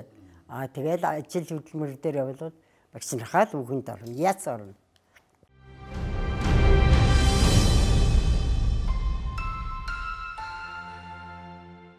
Нацаг багшаа маш олон талд үйл ажиллагааны нэг нь хөгжмийн асар өндөр боловсралтай мэдрэмжтэй хүн байж. Тийм учраас хөгжмийн эксцентрик гэдэг номерыг их сайн хийдэг байсан байна. Нацаг бол циркийн бүх төрлөөр гарамгай хүн. А зөвхөн хөгжим дээр нь тогтож ярихад бол 72 онд бид нар одоо сурагч болоод циркийн сургуульд ороод мэдээ цирк чинь урлагийн газар учраас хөгжимтэй авсан шүү дээ. Пианин авсан. Чоошны пианин рүүж болоод тавилаа. Нацаг багш өөрөө хөглөлөө хоо нэг хөгжим төгөлдөр хөглөөд идэг хүн одоо хэр олон байдгийг би сайн мэдэхгүй. Ховор шүү дээ чинь. Тэгээд тэрэн дээр өөрөө маш гоё тоглоод хөгдүүдэд хөгжим бол юм агуу юм аа. Энийг хайрлаж байгаарай. Бүгдээр хөгжим өндөр боловсралтай болоод өөрийн бие үлгэрлээд үзүүлж шít бид чинь ам ам ингээ ангаач шүү дээ. Зэрэгчин хүн гэдээсэн чинь ингээ хөгжмийг аюу гоо ингээ тоглоно гэдэг бол бидний шал өөр ертөнцөөр одчих юм байхгүй юу. Ер нь насаа уушааны онцлог бол юм болгоно өөрийн бие үлгэрлж үзүүлдэг юм байсан. Тухай циркийн урын санд энэ хөгжмийн центр жоох хоцрогдоод ирж л тээ. Тэгэнгүүт одоо энэ зураг нь байна. Энэ Норов гээд манай оркестр тоглолтоо хөгжимчин хүн байна. Энэ лати алдарт лати банд домор орсон. Нацаг багш одоо нэг аккордеон шиг тгсэн мөртлөө үлээгээд ингээд дуурайд энэ хөгжим өөрөө хийсэн байна. Хөөрөх хөгжим өөрөө хийсэн гэсэн байна. Тий, тэгээ ингээд тоглоод тэгээ одоо энэ хувц муцыг өөрөө ингээд зураад ингээд хийгээд. Энэ бол бас л анхдагч юм. Одоо хөгжмийн центрийг одоо тоглохдохгүй байна да. Тийм ээ? Кадерний тентэр үлээгээд зогсож яддаг л байсан шүү дээ. Нацаг багч одоо Тэгээ бөмбөр цохоод юу яадаг. Тэгээд нэг юм инээдвийн шок нэг хачин гутал муутал хувцас тийм юутай тийм хөгжмийн экцентр гэлгэж яддаг. Тийм юм тоглож байсан юм аа. Ямар ч хэлсэн тэр хөгжмийн экцентр дарсан тэр гэр тэр дугуй тэр тэрэг байсан да нэг юм тэрэг бөхөр тэрний тэрэг шиг тийм хөндлөн моднууд нь бас гэсэлбан болчдөг. Тэмэрүүдийг бүгдийг л хийдэг байсан хоошоо тоглолт дээр явж ирэхдээ юм баян даралттай юм үлээдэг хөгжим авчирдаг байсан. Авчираад ирнэ. Тэгээд тэрий чинь баян шиг болгож жагаад хоорондоо булаацалцж жагаад тастаад хоёр хэсэг болонгот нь үлээврээр нь үлээгээд энэ төр тоглож ирсэн би. Тийм номер. Тийм тийм номерд орж ирснийг санджин амарчсан. Хуучин юм хонгонууд одоо Японы хонгонууд гэдэг ш. Тэрийг ингээд тайраад ингээд ямар хэмжээтэй тайруул ямар өнгө дуурах нь энэ төргээл ингээд өөрөө турш үзээд тэгээд хой цирктер тэр нэг хөгжмийн эксцентрик гэдэг номерыг анх ер нь хийхдээ тэр нэг гэр байсан юм жижигхэн гэр одоо энэ ширээний нэг том жиштэй ер нь иймэрхүү. Тэгээд дээдлтаа бол хөнгөн цагаануудаар аваачаад ингээд тайраад юм хөндөй хөнгөн цагаанууд тариад энэ ямар өнгө дуурч чинь жижиг болох тусмаа дээшээ өнгөнүүдтэй болдго юм байна гэд тэрийг аваачаад нөгөө дотор талд нь аваачаад сатуркаар ингээд хоёр талд нь цоолоод ингээд хүндий ингээд цохиход одоо янз бүр тэр өнгөнүүд нь дуурахаар болгоод тэгээд алтан үлгийгээд одоо тэрийг бүр хоёр хоолоогоор өөрөө ингэж тоглож исэн санаанд байдгийн. Тэр нэг дугуйтаа орж ирдгийг. Тэгээ урдаа морины толгойтой ардаа сүултээ тэгээ тэргээрээ дугуйч нь ингээ хөгжим одоо жоно хонгор тоглож манежинд орж ирдэг байхгүй юу? Энэ нэг жоохон гэр байж гин. Энэ гэрийн энэ өн булган нь бол ксилофон болж байсан ингээд. За энэ бол зүгээр нэг ийм лазыг ингэж эвлүүлээд одоо хөгжим болгоо хуучруулаад тоглолцсон. А энэ болохоор дугуйн дээр бас лазнууд байгаад бас хөг хийгээд энийг хийсэн ийм юм. Миний хоёр дахь номер бол одоо энэ варта нугартны номер байхгүй юу тий. Тэгээ энэ номерын маань ширээг нацаг ах маань хийж гисэн. Тэгээ би энэ нацгийнхаа хийж хийж өгсөн ширээнтэй Аз Африк Латин Америкийн 30 гаруй орны дайсан дээр тоглосон. За нацгийнхаа ширээтэй би бол Бошо театрын дайсан дээр тоглосон. Энэ бол их азтай. Би бол Африкийн орноор 10 орноор явсан, сүүлд нь ганцаараа явсан. Ганцаараа нацгийнхаа хийсэн ширээг чирээд тоглоод явдаг байсан та. Тэгээ энэ бол бас их азтай би одоо нугархаа болтлоо тэр ширээн дээрээ л тоглож явсан та тэгээд. Нарийнхан бүгд зөвхөн Монгол хүмүүс аргагүй дэлхийн олон улсад төрөөсөн.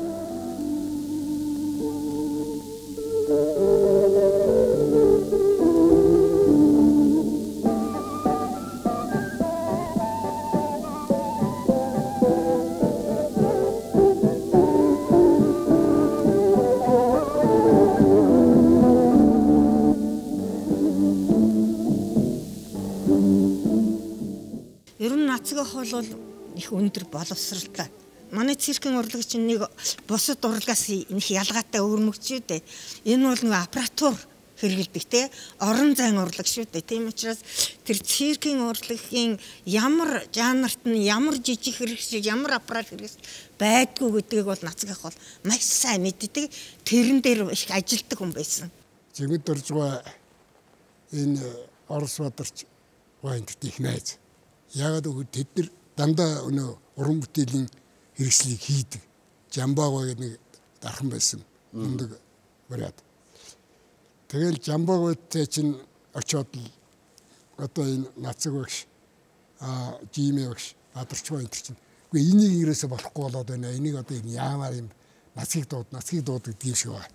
Тэгэл очиод маань нэр яриа нөгөө дуугаад уулцсан нөгөө дүлцэт нь дам хөөха юу атса тэгж байгаа л гэнэриус айхдаг юм аа гэж юм яа гэж.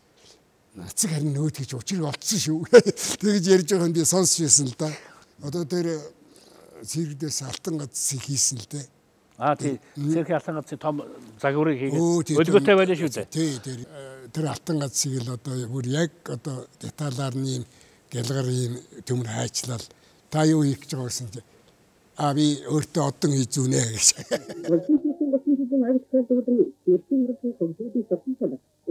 мэрэгдэлтэй боловсон хэсгийн дэвших хэрэгтэй байгуулсан байгууллагын хэрэглэж улсын төрийн асан гадагш болонгор хэрэгсний ардын төрлийн хэрэглэгчдийн хэрэглэх дарга нутгаар lögсөн хэрэгэн гардуулсан байна. Тэр одон бас хийгээд тэр хоймролд нь тэр улаан фон дээр яг тааруулаад хийчихсэн байдаг байсан. Аа тухайн үед нөө Монголын хөлсгөл залуучдын эвлийн төгөөрд ингээд тэр эвлийн байгуулагч нэг 5 одон авсан. Ер нь ингээд нэмэгцээрээ гал 5 болсон юм байна Тэгээд Сүхбаатарын одон 3. Тэгээд Алтан гац хөлбөмбөгийн говийн явлан тэгээ одон гэдэг энэ 5 одон.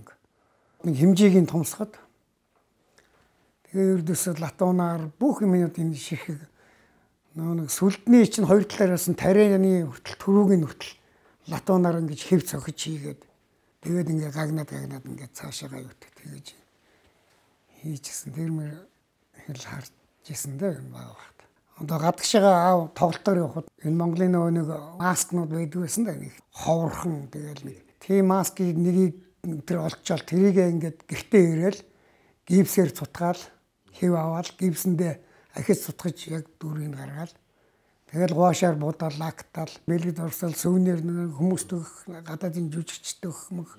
Тийм нэг гарын бэлгэнд л өгдөг байсан юм шиг. Их л гарын дүүтэй хүн гэж боддог шүү дээ. Ер нь тэгээ тийм нарийн ширийн юм хийн цэгийнхээ бүх дээн хэрэгслүүдийг юм Тэгэл нэг өрч одоо тэгэл эскиз мэскиз хийх ч одоо ингээд өглөөд өөрөө зурн тэгээд хэмжээ дамжаа гарган тэгээд гагнуураас нь ахуулаад ер нь тэгэл бүгд юм л хийн штэ гагнуур маань. Тэр аппарат хэрэгслүүдийг бүгдийн л өөрөө лийдэлсэн шиг байна.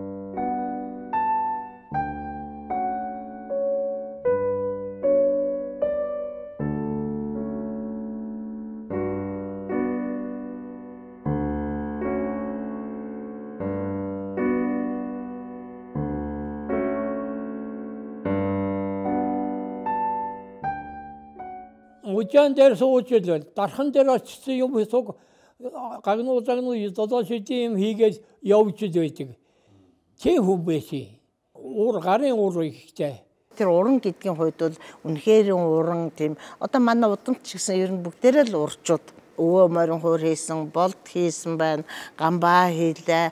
Манай мөнх баяр хөгжимчин маань баярын хүүтэйгээ нэл хоёр гартаа гитар хийсэн гэх мэтлэнгийн юм юм би. А түүнээс гадна тосон цэнгэлд одоо ажиллаж явах хугацаанд бол нөгөө зүгээр жирийн нэг юм токероор хонх хийсэн. Тэр хонхон хөгжим. Тэр хонхойг өнөөдөр хин ч хийж чадаагүй гэж одоо Монгол улсын гавьят багш Жамин хорлоо хэлж байгаа юм.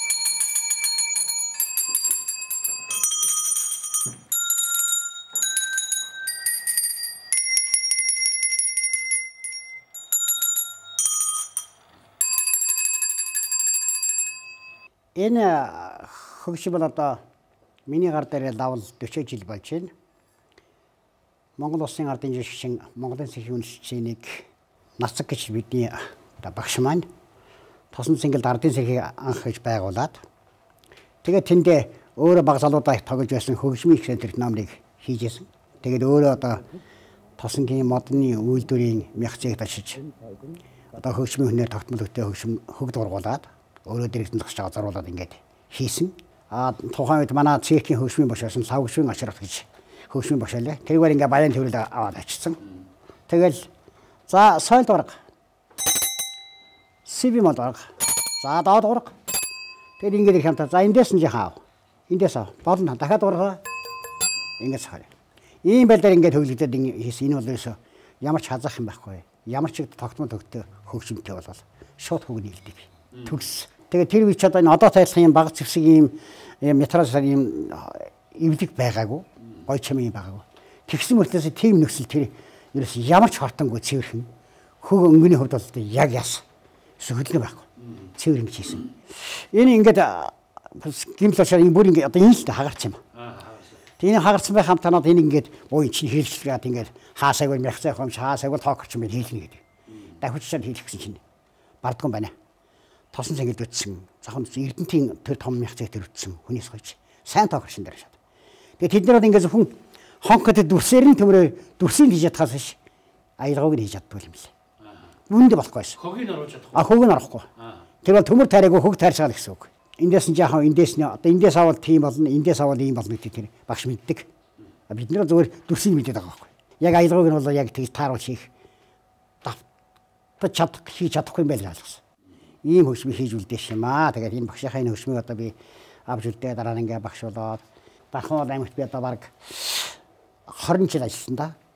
Тэгээд тэгэхэд 800-аар хөгжмийн зэвсэгтэй болсон. 35 хүүхдээ аяарсан Монголд орж ирсэн. Тэгээд бол энэ багшийн одоо үлдээсэн хөгжмийн одоо үр дүнгээр дөөрөл чийсээр гараад өгдөг юм болсон.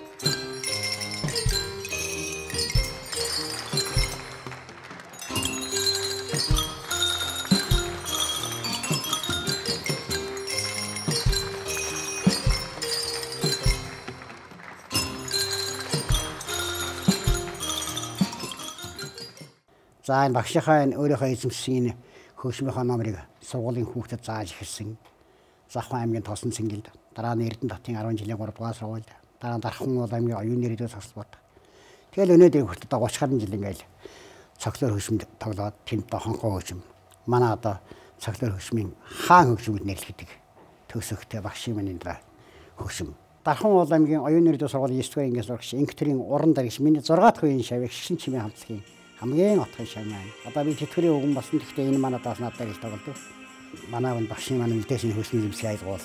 Хойшлоо тасрахгүй болсон. Хүмүүс сонсогдож байна гэж итгэж байна.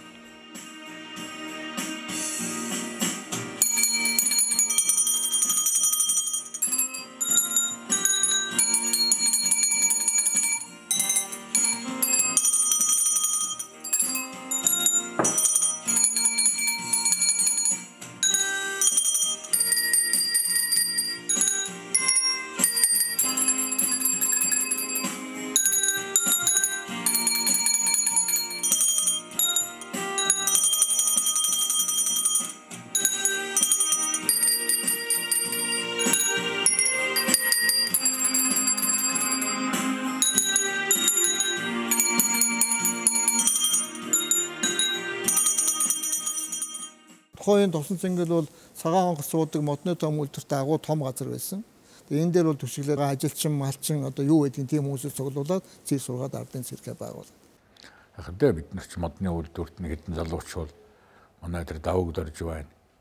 Манай цэрхийг үндэсэн байгуулагч. Битгээр л хоёул хоноо байсан да ер нь цэрх байвал яасан үйлдвэр дотор цэрх байвал манай үйлдвэрч механик цэрх гэж мундаг юм байна.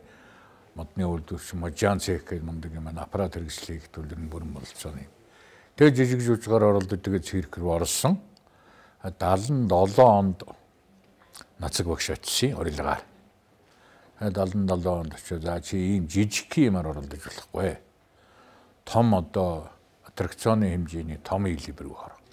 Илвчин хүн шүү дээ нацаг багш чинь илв сайн дагуулдаг. Би ч өөрөө можаны мэрэгжилтэй, модны мэрэгжилтэй юм хүн. Манай нөгөө тэр давг дөржүүл бас төмрийн мэрэгжилтэй ингээ бид гурвын мэрэгжил бол аятайхан болсон. Тэн дээр 90 яриад Тийм учраас тэн дээр одоо сүлвдэг хайрцаг, хөрөөддөг хайрцаг одоо бүх том элбний бүх юмнуудыг зургийг гаргасан, хоёлоо хийсэн. Тэгээ ганц элби юм биш юм аа. Сандал, ширээ, шат, мэт тэнд жанглоор мөглөөр юу л хэрэгтэй болгоныг зургийг гаргана.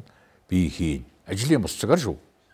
Өдөр 8 цагийн ажлыг хийн. Орой ажлын бусцгаар. Тэгээд тэр сайхан одоо өндөр цол та багшийнхаа нөмөр нөөлгөн дотор ардын жүжигчин хүнтэй можаа хийгэн суун гэдэг бол одоо бол тийм юм бол одооны залуучууд бол лав тийм байхгүй бах. Тэгэж хийгч хүн байхгүй бах.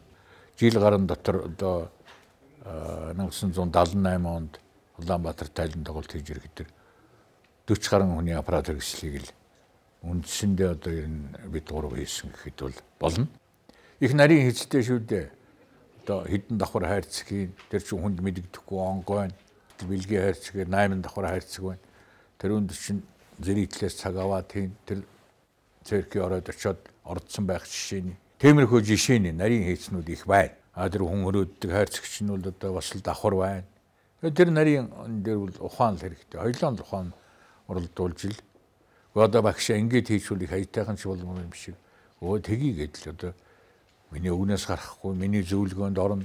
Би багшийнхаа зөвлөгөөнд орно ийм мэтлэнгээр одоо тосонгийн цэрхийг бол хөл дээр нь босгосон доо. Тойсон алсалаг эдсэн газар ажиллаж байгаа модгөлд хилийнхэндээ аятай сайхан амралтч хэрэгтэй. Худалдаа, соёл ахуйн үйлчилгээ, урлагийн тоглолт сонирхолтой энэ дээр байн гэрд хүмүүсийн нэг нь тус комбинатын болнайн цорын хамтлаг ардын цирк их нэлээ.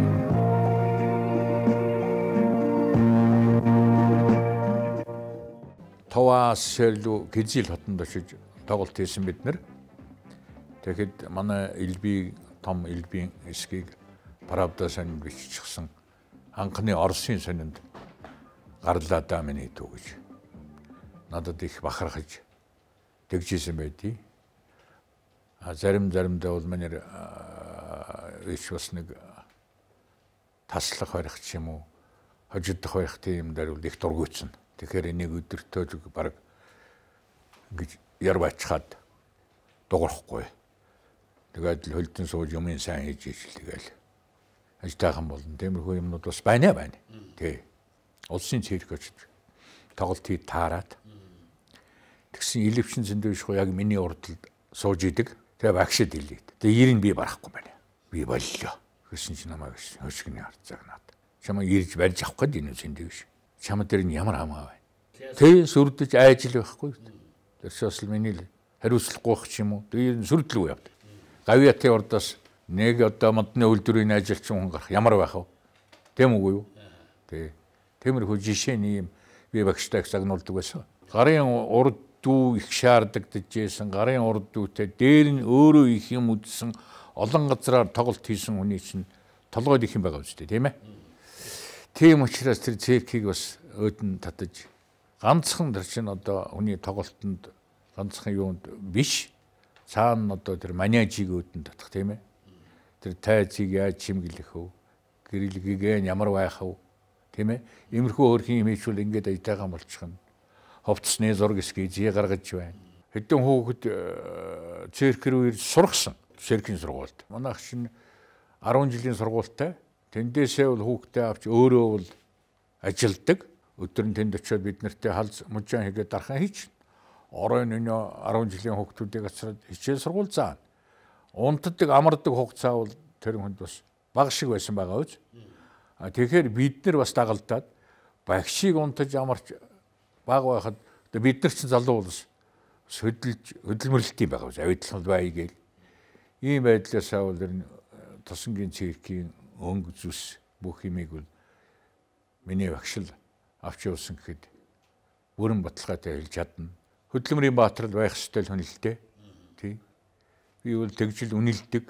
Тэр хүн бол тэгжил нүүр царай нь болсон. Тэгээд бид нар Баруун аймгийн бригад явлаа завхны тусан дуу заавал очих ёстой. Тэр бригад бол тийм тоолох ёстой. Нацгийн өгшөө өдөрлөгөнд орно. Одоо тэгэл манай нахмадууд ихтэй баг. Цаяахан дэр бол өчтөр би ямар хүн том хүн байлаа даа л гэдгийг шүү дээ. Тэгэл тосон дуулаа маргааш өглөө бүгд жагсаалаараа хоолнд ороод одоо их баггүй шүү дээ. Бүгд жагсаалаараа хоолнд орно. Одоо тоглолтондоо оролтон бэлдэн биеийн дасгалаа биеийн яг тийм байж байгаа. Тэгээ явдаг. Ийм гайхамшигтай л одоо агуу хүний удирдлага дорл ингэж хүн болцоосондоо бид нар одоо бүгдээрээ л ийм хүмүүс сууж одоо дотроо сүслэн залбирч одоо явдаг. Дараагийнхаа үед ч гэсэн одоо энийг л уламжлуулъя даа л гэж л одоо ингэж үг сургуулийн дамжуулах одоо бид чинь дамжуулах үүрэгтэй шүү дээ.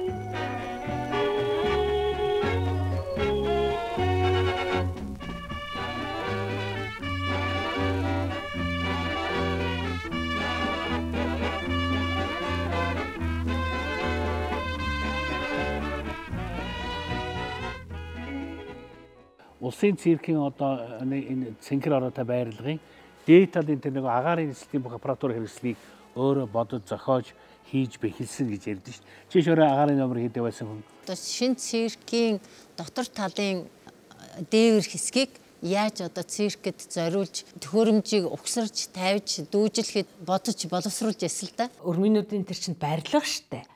Барилга гэдэг юмыг цирк болгоход одоо манай энэ ахмадууд маш хөөрөг ролтой оролцсон тэр бүхэл батууд бүхэл тэр хамгаалалт тарпез тарпезны бэхэлгээнүүдийг бол өөрөө гардаж хийсэн. А яг вэ хамтран туссан хүмүүс байлгүй яг уу яг тэр талаар мэрэгшээд үзэж хараад туршлагажаад ирсэн хүн учраас тэднийг бол удирдах хийлгүүсэн.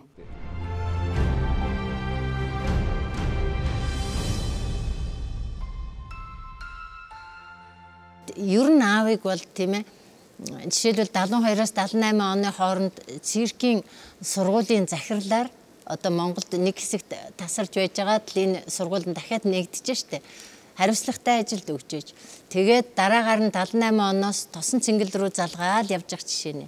А тэр хооронд энэ том хэмжээний номерыг бий болгоход бас л хариуцлагатай ажлыг өрүүлээл явж исэн байгаа.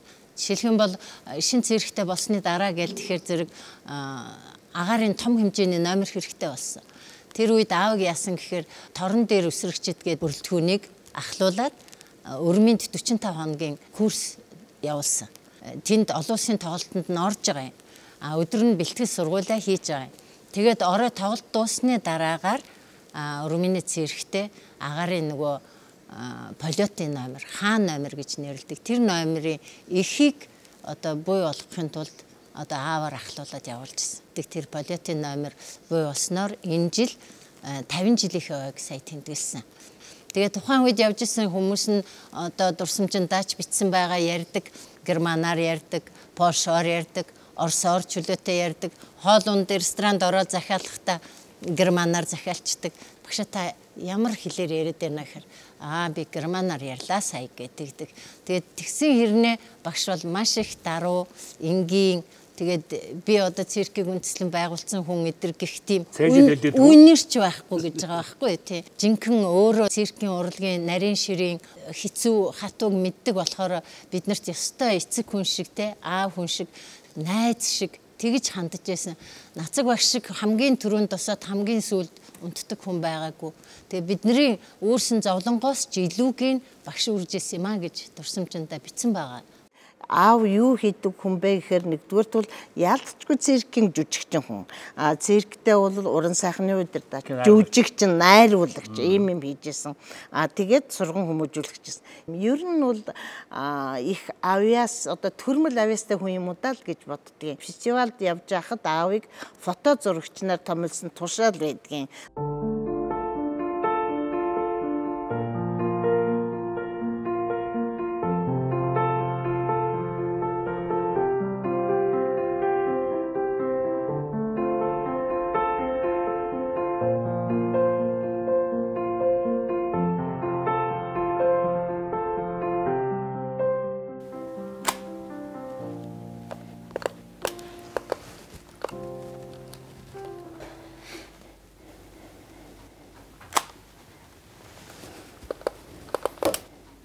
Аав минь одоо хэрэгжилж исэн аппарат л да. Их дээр үеийн аппарат. Тэгээ одоо бол хоцрогдсон л байх л да. Дэлхийн оюутан залуучуудын 6 дугаар их наадам 1956 он байсан.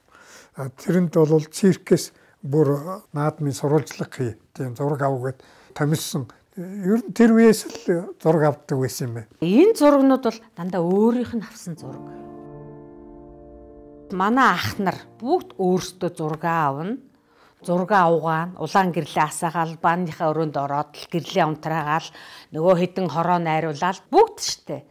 Тэгэхээр тэр чинь яг л өөрийнхөө амьдрал практик дээр бид нарыг ингээд сургаад хүмүүжүүлсэн. Одоо энэ гурван альбом байна. Энэ хишиг даваахт наржмаагч хоёртой Германд явсан альбом байна. Энэ болохоор Польшид явсан хишиг даваахтай А энэ нь болохоор Өрмийн улсад ариун бол дах бүждмаа агч хоёртой явсан альбом. За эндээс юу харагдана гэхэлэр энэ нэг альбомод тэр програмд орсон бүх улс орны жүжигчдийн тоглолтын зургууд тийм тоглолтын зарлалууд байна, афишууд байна, тухайн тоглолтын хайчилбарууд нь юмыг яг боддоор нь түүх болгож хадгалж ирсний нэг илрэл. Энэ нь биднэрт юу болж ийн гэхэлэр эмх зэгцтэй дэг журамтай байх гэдэг имийг биднэрт суулгаж өгсөн. Зөвхөн энэ гурван альбом биш. Нэгдүгээр фото зурагч, хоёрдугаар зураач. А энэ зураач гэдгийг юугаар мэдэн хүмүүс ярьлаа шүү дээ. Эскиз хийдэг тийм ээ. А Норв самбугийн хэтэл дээр ширээг нь хийцэн тэр хээ уйгуулц бүгдийг хийн. А энэ нь бас хүүхдүүд нь бүгдээрэнд нь орцсон. Манай болд чинь бас өөрийнхөө тоглолтын хувцсны эскиз бүх юмыг ингэж хийдэг байсан. Ийм. За 3 дугаарт болохоор оюутчин маш уран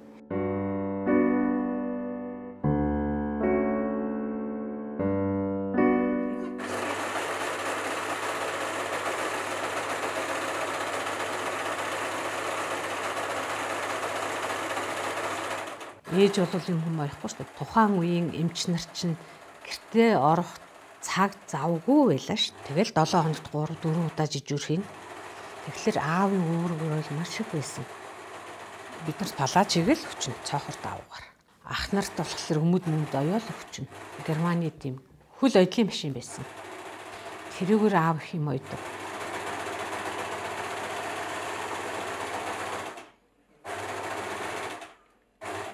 Цэргийн одоо генерал шинэл гэж байсан. Нарийн цэмбэн тийм генерал шинэл гэдгийг задлж байгаа л өөрөө их гоё юм болтоо.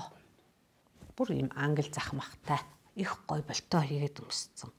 Маш уран тэр юм оёхтой.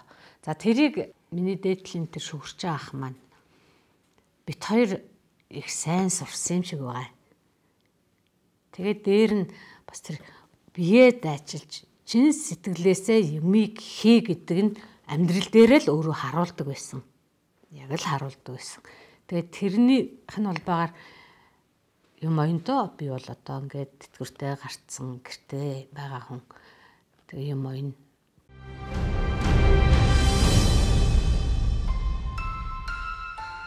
За тэгээд э, бас э, нацахгүй маань шүхрийн спортоор 50 жилийн гарсан айна хийж хичээллээд тосон цагийн ардын зэрэгт очисон мөн санаачлагаараа тэнд дугуйлан байгуулад бага охиныгаа хүрдэ шүхрээр үсэрдэг хүн болгож чадсан байгаа шүү дээ. Бас хоёр ч хүн шүхэрчин байна тийм ээ.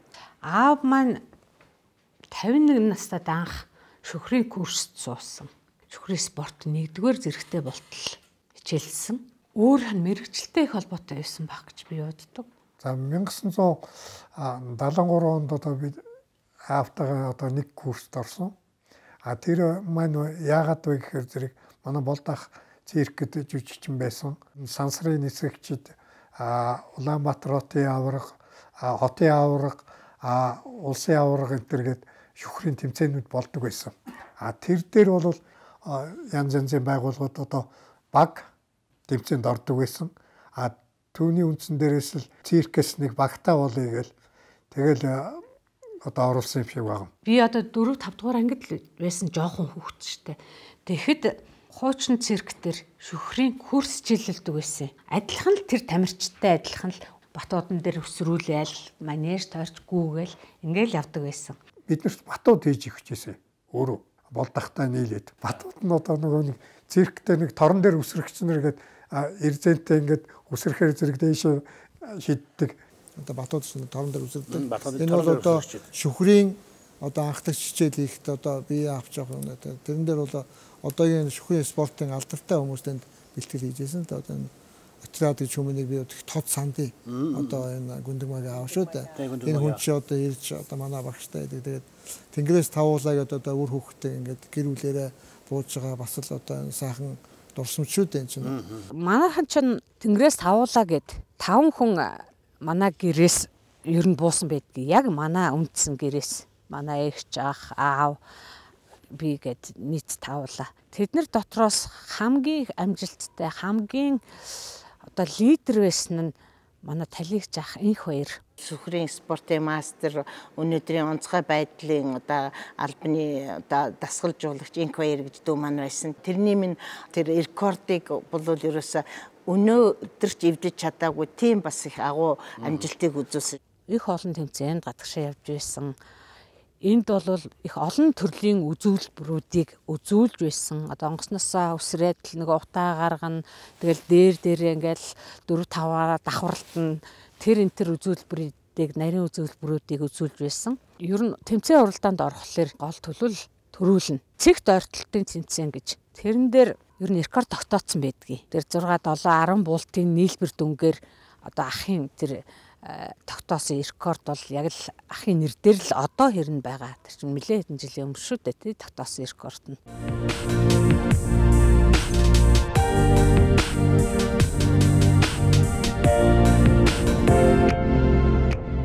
Завхангийн тоснд ардын цирк байгуулж байхдаа тэнцэнэ шүхрийн курс бүр нөгөө циркийн хүүхдүүдээ оруулаад манай навчаа хамгийн багад тосонд байжгаад тэнцээ өхрөөр бууж ирсэн ба. Улаанбаатар хот болон Завхан аймгийн батлан хамгаалахад туслах нийгэмлэгүүдийн хооронд байгуулсан гэрээний дагуу Тосон цэнгэл хотод шөхрийн курс нэ гэж тохиролцсны үндсэн дээр Тосон цэнгэл хотод 30 хүнийг авч сургасан.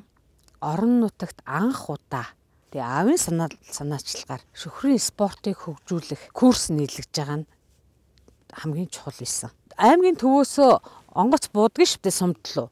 Аа нь хоёр онгоц очдөг байсан тий. Тэр онгоцороо л буунштай. Тэр онгоцороо шалгалтаа өгч шөхрийн спортын 3 дугаар зэргийн тамирчин болж байлаа. Аа тэгээд одоо манай гэр бүлийн өмч гэсэн бас 73-ноос нэлээд олон жил одоо хийчний жил бууч та лав нэг 15 6 жил болсон баха бид нэр. Тэг. Болдохын шагаа бас уулын шөхрөөр буудгийн манай охин ч уулын шөхрөөр бууд онгоцны шөхрөөр буун тэг аль аль эзэмшээл явж байгаа л да.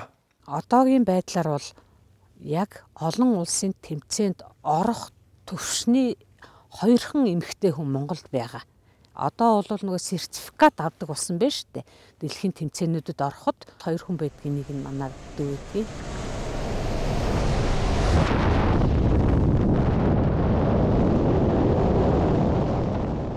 Болормоо маань бас циркчин байсан акробат хийдэг, сарлагтай акробат үлээ те. За тэгээ Болормоогийн гэр бүлийн хүн гэхтэл загвар зохион бүтээхээр онгоцсон юм юугаар бас их олон улсын тэмцээнд оролцсон Болормоогийн дүү Батэрдэн гэж байсан. Тэр маань бас нисэх загвар мастерууд. Тэгээ ер нь спортлог л да манайхан бол. Энэ хүн бол юмгт шинийг эргэлхийлж явдаг, суудалж явдаг одоо ийм экстрим спорт руу тэр 50-га ол гарсан насандаа гэр бүлээ өрөвхдөд агуулаад тэнгэрээс одоо өвсөрж бууна гэдэг бол бас л хэр баргийн одоо настай хүний хийгээд байх ажил биш. Тэгэхээр бас нэг л одоо насыг багш маань бас нэг тод одоо нэг дурсамжшүүд энэ бол тий циркээс гадна. Тэгээд одоо нүдэнд харагдж байна л да багш батуудан дээр өөрөө өсрөөл зааж өгөөл нэг кет өмсчөө санаж байна уу? Кеттэй байсан шүү дээ. Кет өмсчөөд бэлтгэлийн овцтой ингээд өсрөөл ингээд заагаал. Би ноцоо хөшөөгээр анхдагч гэж бодоод байдیں۔ Анхдагч уран биеийн тамирын сургуулийн сурагч анхдагч циркийг байгуулалтсан 3 хүний. Нэг анхдагч циркийн сургуулийн эмхлэн зохион байгуулж анх одоо тэр одоо циркийн сургуулийг дийж зэгцэнд оруулж одоо хөтөлбөр програмын шинжилт тавьсан хүн. Янгтагч одоо ардын авиастан төрүүлэх циркийг ардаа нунаас гаргах гэж шүү дээ. Тэрний анхдагч байгуулад анхдагч агарын нислэгээд том одоо Монголд урд Монголын циркт урд өмнө байгааг одоо тэр хоёр нэг хаан номер гэж ярьдэн шүү дээ. Болоод. Энийг одоо авчиж өрмийн сураг дадлагжуулсан зохион байгуулж удирдах авсан хүн. Янгтагч одоо юм болгоны анхдагч байсан болов гэж бодож байгаа. Монголын хошин шог гэдэг тийм Энэ бол бас инквайрийн хэлээр бас анхдагчийн нэг байсан болов уу гэж ингэж боддгийн. Энэ их сайхан бадраагва, намдагва аав ингээ хамтраад хошин шогийн анхдагч ийм тоглолтыг бол хийсэн байгаа. Хонгор зул. Хонгор зул хамтлаг бий болсон. Одоо Монгол улсын гавьяч үчигтэн сэрэнжимд ерөөлж магтаалж гэргийдэн тоглоод аав хүүхдийнхээ даалгаврыг хийж байгаа аавд нь тоглож байгаа юм. Тэгээ энд бол бас манай урлагийн одууд байгаа л да. Жишээ нь Мегмар Наранбайжийн нардын жүжигчин 65 маань байна. Төмрийн чимдэрж байгаа Мая гэдэг бүгд тийм. Энэ их олон хүмүүсийг ингэж цуглуулжсэн зохиолчтой хорон дээр байсан. Хошин шагийн ангадагчд бичүү гэж энэ цэрэн чимдэг гэж ярьдаг юм. За нөгөө талаар нацаг ах бол одоо урын сангийн бодлого дээр бол маш их туршлагатай хүн байсан. За би бас нэг уран сайхны удирдагчаар бол томилогдоод ажиллаж илаа. Тэгээ яг миний томилогдоод ажилласан эхний жил 5 жилийн төлөвлөгөөний эхний жил байсан. Тэр урын сангийн бодлого барьж байгаа хүн бол тэр 5 жилийн 15 програмын боловсруулж сэлийн амд өгөх ёстой. Гэтэл би дуршлаг багтай нэг амтан гэртээ цаасан далайд сууж исэн чинь нацаг их орж ирсэн. Тосон цэнгэлээс ээжтэй уулзах гэж орж ирсэн. Аа за шинэ авшихаа юу хийж байгаа юм гэсэн. Өө би ингээд нэг 5 жилийн төлөвлөгөө хийхэд ойлгодгүй нацаг ихаа гэсэн чинь. Заахаа юу ойлгохгүй байна гэл. Тэгэл надад циркийн урлагийн урын сангийн бодлого гэж юу байдаг юм бэ? Юу барьж хийх ёстой юм, юу анхаарах ёстой юм гэдгийг энэ бүгдийг л зааж өгсөн хүн тий. Тэгэхээр бол нацаг ах бол циркийн урлагийн урын сангийн бодлого бол үнэндээ бол өстой тархиндаа бүгд бичээстэй ийм хүн байсан. Өөрөө тэр албыг хийж исэн байна. Хийж исэн урд нь би бол нацгийнхаа хөвчээр тэр 5 жилийн төлөвлөгөөг бол хийсэнтэй бит хоёр хийсэн. Хамгийн нэгдүгээр чи жүжигчтэй таних хэрэгтэй ямар жүжигчин ямар жанр дээр юу хийж чаддгийм бэ гэдгийг ойлгох хэрэгтэй. Тийм учраас чи маргааш очиод жүжигчдийнхээ мэрэгжлийн шалгалтыг авах. Тэгээд би мэрэгжлийн шалгалтыг авсан та. Акробатн дээр юу хийдгийг, жонглер дээр юу хийдгийг, гимнастикн дээр юу хийдгийг энэ бүгдийг бол үнэндээ би мэдэж авсан. Тэн дээр тулгуурлаад бодлогоо боловсруулсан. Тий, бодлогоо боловсруулна тий. За тэгээ нөгөө талаар бол нацаг ах юуг надад хэлсэн гэхээр циркийн урдагт багшлах ажил хийгэрээ. Циркийн багш гэдэг бол багш найруулагч хүн байдаг юм аа.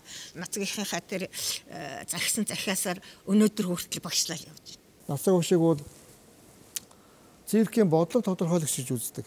Ямар нэгэн урлаг соёл юу вэ? Суурь нь маш сайн байх хэрэгтэй шүү дээ. Одоо энэ алдартнуудын тавьсан суурин дээр бид одоо бол явж байна. Тэрнээс одоо сошиалнэр нэг гайхамшигтай хүмүүс төрөөл нэг гайхамшигтай юм хийгээд байгаа юм биш. Яг эдний тавьсан школ, эдний тавьсан сургалтын арга барил, эдний тавьсан одоо хөтөлбөр энэ бүгд одоо үргэлжлэл явж байна. Зөв сургалт, зөв суурин дээр бид одоо хөгжиж байгаа юу? Ер нь циркийг үндэслэн байгуулагч энэ хүмүүс бол циркийн урлагийн бүх жанрыг жигд хөгжүүлээгээд а зөвхөн одоо жүжигчин бэлтгэхээс гадна тийм ээ тэр төрлийг цааш нь зааж сургах багш нарыг бэлддэг байсан байгаа. Цэндэ багш манай миний багш те дамдын сүрэн гэдэг гавьяач жүжигчин энэ хэдийг бол зориуд одоо багш стрижрокоор Москвад сургасан байгаа юм л да. Тэр хүмүүс энд ирээд юу бэлдсэн гэхээр ямар жанр дээр хоцрогдож явна тэрэн дээр бол шавь сургалт бэлдэх. Ийм үүрэгтэй энэ бодлогыг бол барьж исэн хүн бол нацаг ах байгаа юм л да. Одоо цэндэ огшд энэ уран нугралтын шавь сургалтыг ийг бол хариуцуулж өгсөн да. Тэр 41 оны програмд өөрөө нугарт тоглож исэн хүн тий. Ерөөсөө бол циркийн урлагийн одоо уран нугралтын номер бол зүгээр л нэг нуграад уян хатын юм харуулгатай. Тэрэн дээрээ бол одоо ямар санаа өгөхгүй гэдгийг бол номерыг тавилтандаа бол анхаарч явах хэрэгтэй гэдгийг бол нацэг ах бол зөвлөгөөлсэн л да тий. Жишээ юм бол одоо ямар ховцтой тийм ээ ямар хөгжимтэй байх уу гэдгийг бол багш хүн одоо энэ толгойдоо бодох хэрэгтэй тийм ээ. Бийг л одоо бидэнд бол үлдээж гисэн хүн байхгүй юу. Жишээлбэл бол одоо би одоо ийм номертай явах гэж өө гоё байна гоё байна тий. За тэрэн дээр нэг жоохот ихчүүл гоё болно да. Гэл хөхрөөл энийгээ шоглоод хэлчихнэ. Тэгэхэр зэрэг тэрний чинь одоо заавал биелүүлэх гэж зүтгэл би нацаг ах шиг энэ ванга ах шиг эднийг л давах юмсан гэдэг ирэмэлзлэр би зүтгэж ажилласан учраас өнөөгийн амжилтанд хүрсэн байхгүй юу. Өөрийнхөө одоо эзэмшсэн төрлөө цааш нь яаж хөгжүүлэх үү? Яаж авч явах уу гэдэг бодлогыг болоод бидэнд толгойд суулгаж өгсөн хүн байна. Одоо гэр бүлд маань сайхан цэрэгчд байна, хөгжимчд байна гэдэг ингээд хүүхдүүдээс нь одоо Мөнх баяр нь одоо Баян Монгол чуулга тоглодог байсан Паулыг шамлаг байгуулад одоо болтой явж байна. Хүүн одоо бас Мөнх бат гэж залуу манай үндэсний олон нийтийн телевизийн дууны найруулагч юм ийм мэрэгжил эзэмшээд ажиллаж байгаа хүүхэд байна. Тэгээд одоо өвөөгийнхэн одоо энэ тухай гэгээн үдшиг нэвтрүүлэгт одоо дууны найруулагч ажиллаж байгаа. А энэ харагдаад хараа тэр. За тэнд байж байна. За тэнд байна да.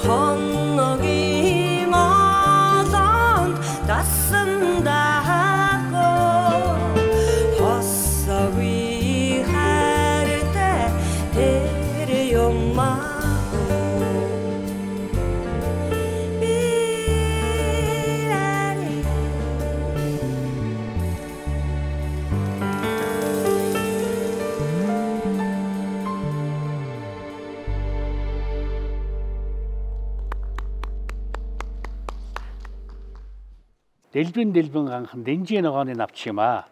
Дэрэгдмэн юм шиг санагдан дэндүү хайртай шинжүүдэ гэсэн үгтэй энэ дуу нацхгүй маань их дуулах дуртай байсан.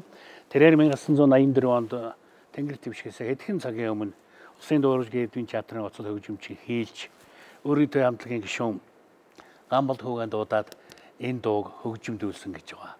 Тэгэхээр өнөөдөр энэ дууг одоо Урлын гавьяа сэтгэлтэн энх баяр ахлагчтай Паул самтлаг маань дууллаа. Гоцол дуучин хишиг даваа хамтлагийн аргил гитарчин Нацаг гоон хөө Мөнх баяр. За бөмбөрчин нь одоо Мөнх баярын Мөнхбат Монголын үндэсний олон нийтийн телевизийн дууны албаны найруулагч тус тус байлаа. Уран бүтээлийн хамжилтыг та бүхэндээ хүсье өрөөё. За ингээд урлаг төгс гэрүүлийн тухай дэгээ үдшин нэвтрүүлэг маань өргөлжиж байна үзэгчтэй.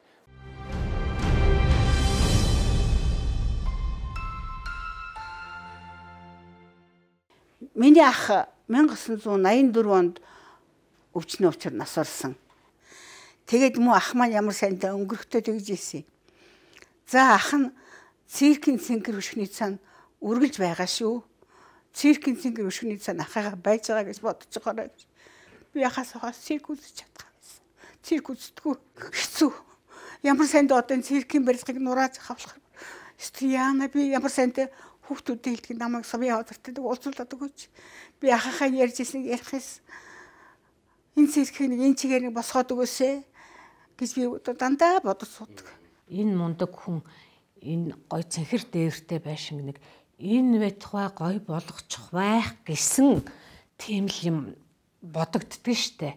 Тэр том авраг болсон хүн ч одоо их л юм үдсэн байгаа ах. Тэгээд хуучин байснаас нь л илүү гой болгочих байх.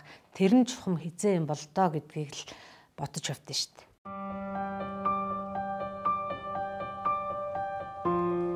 циркийн төлөө л төрсөн.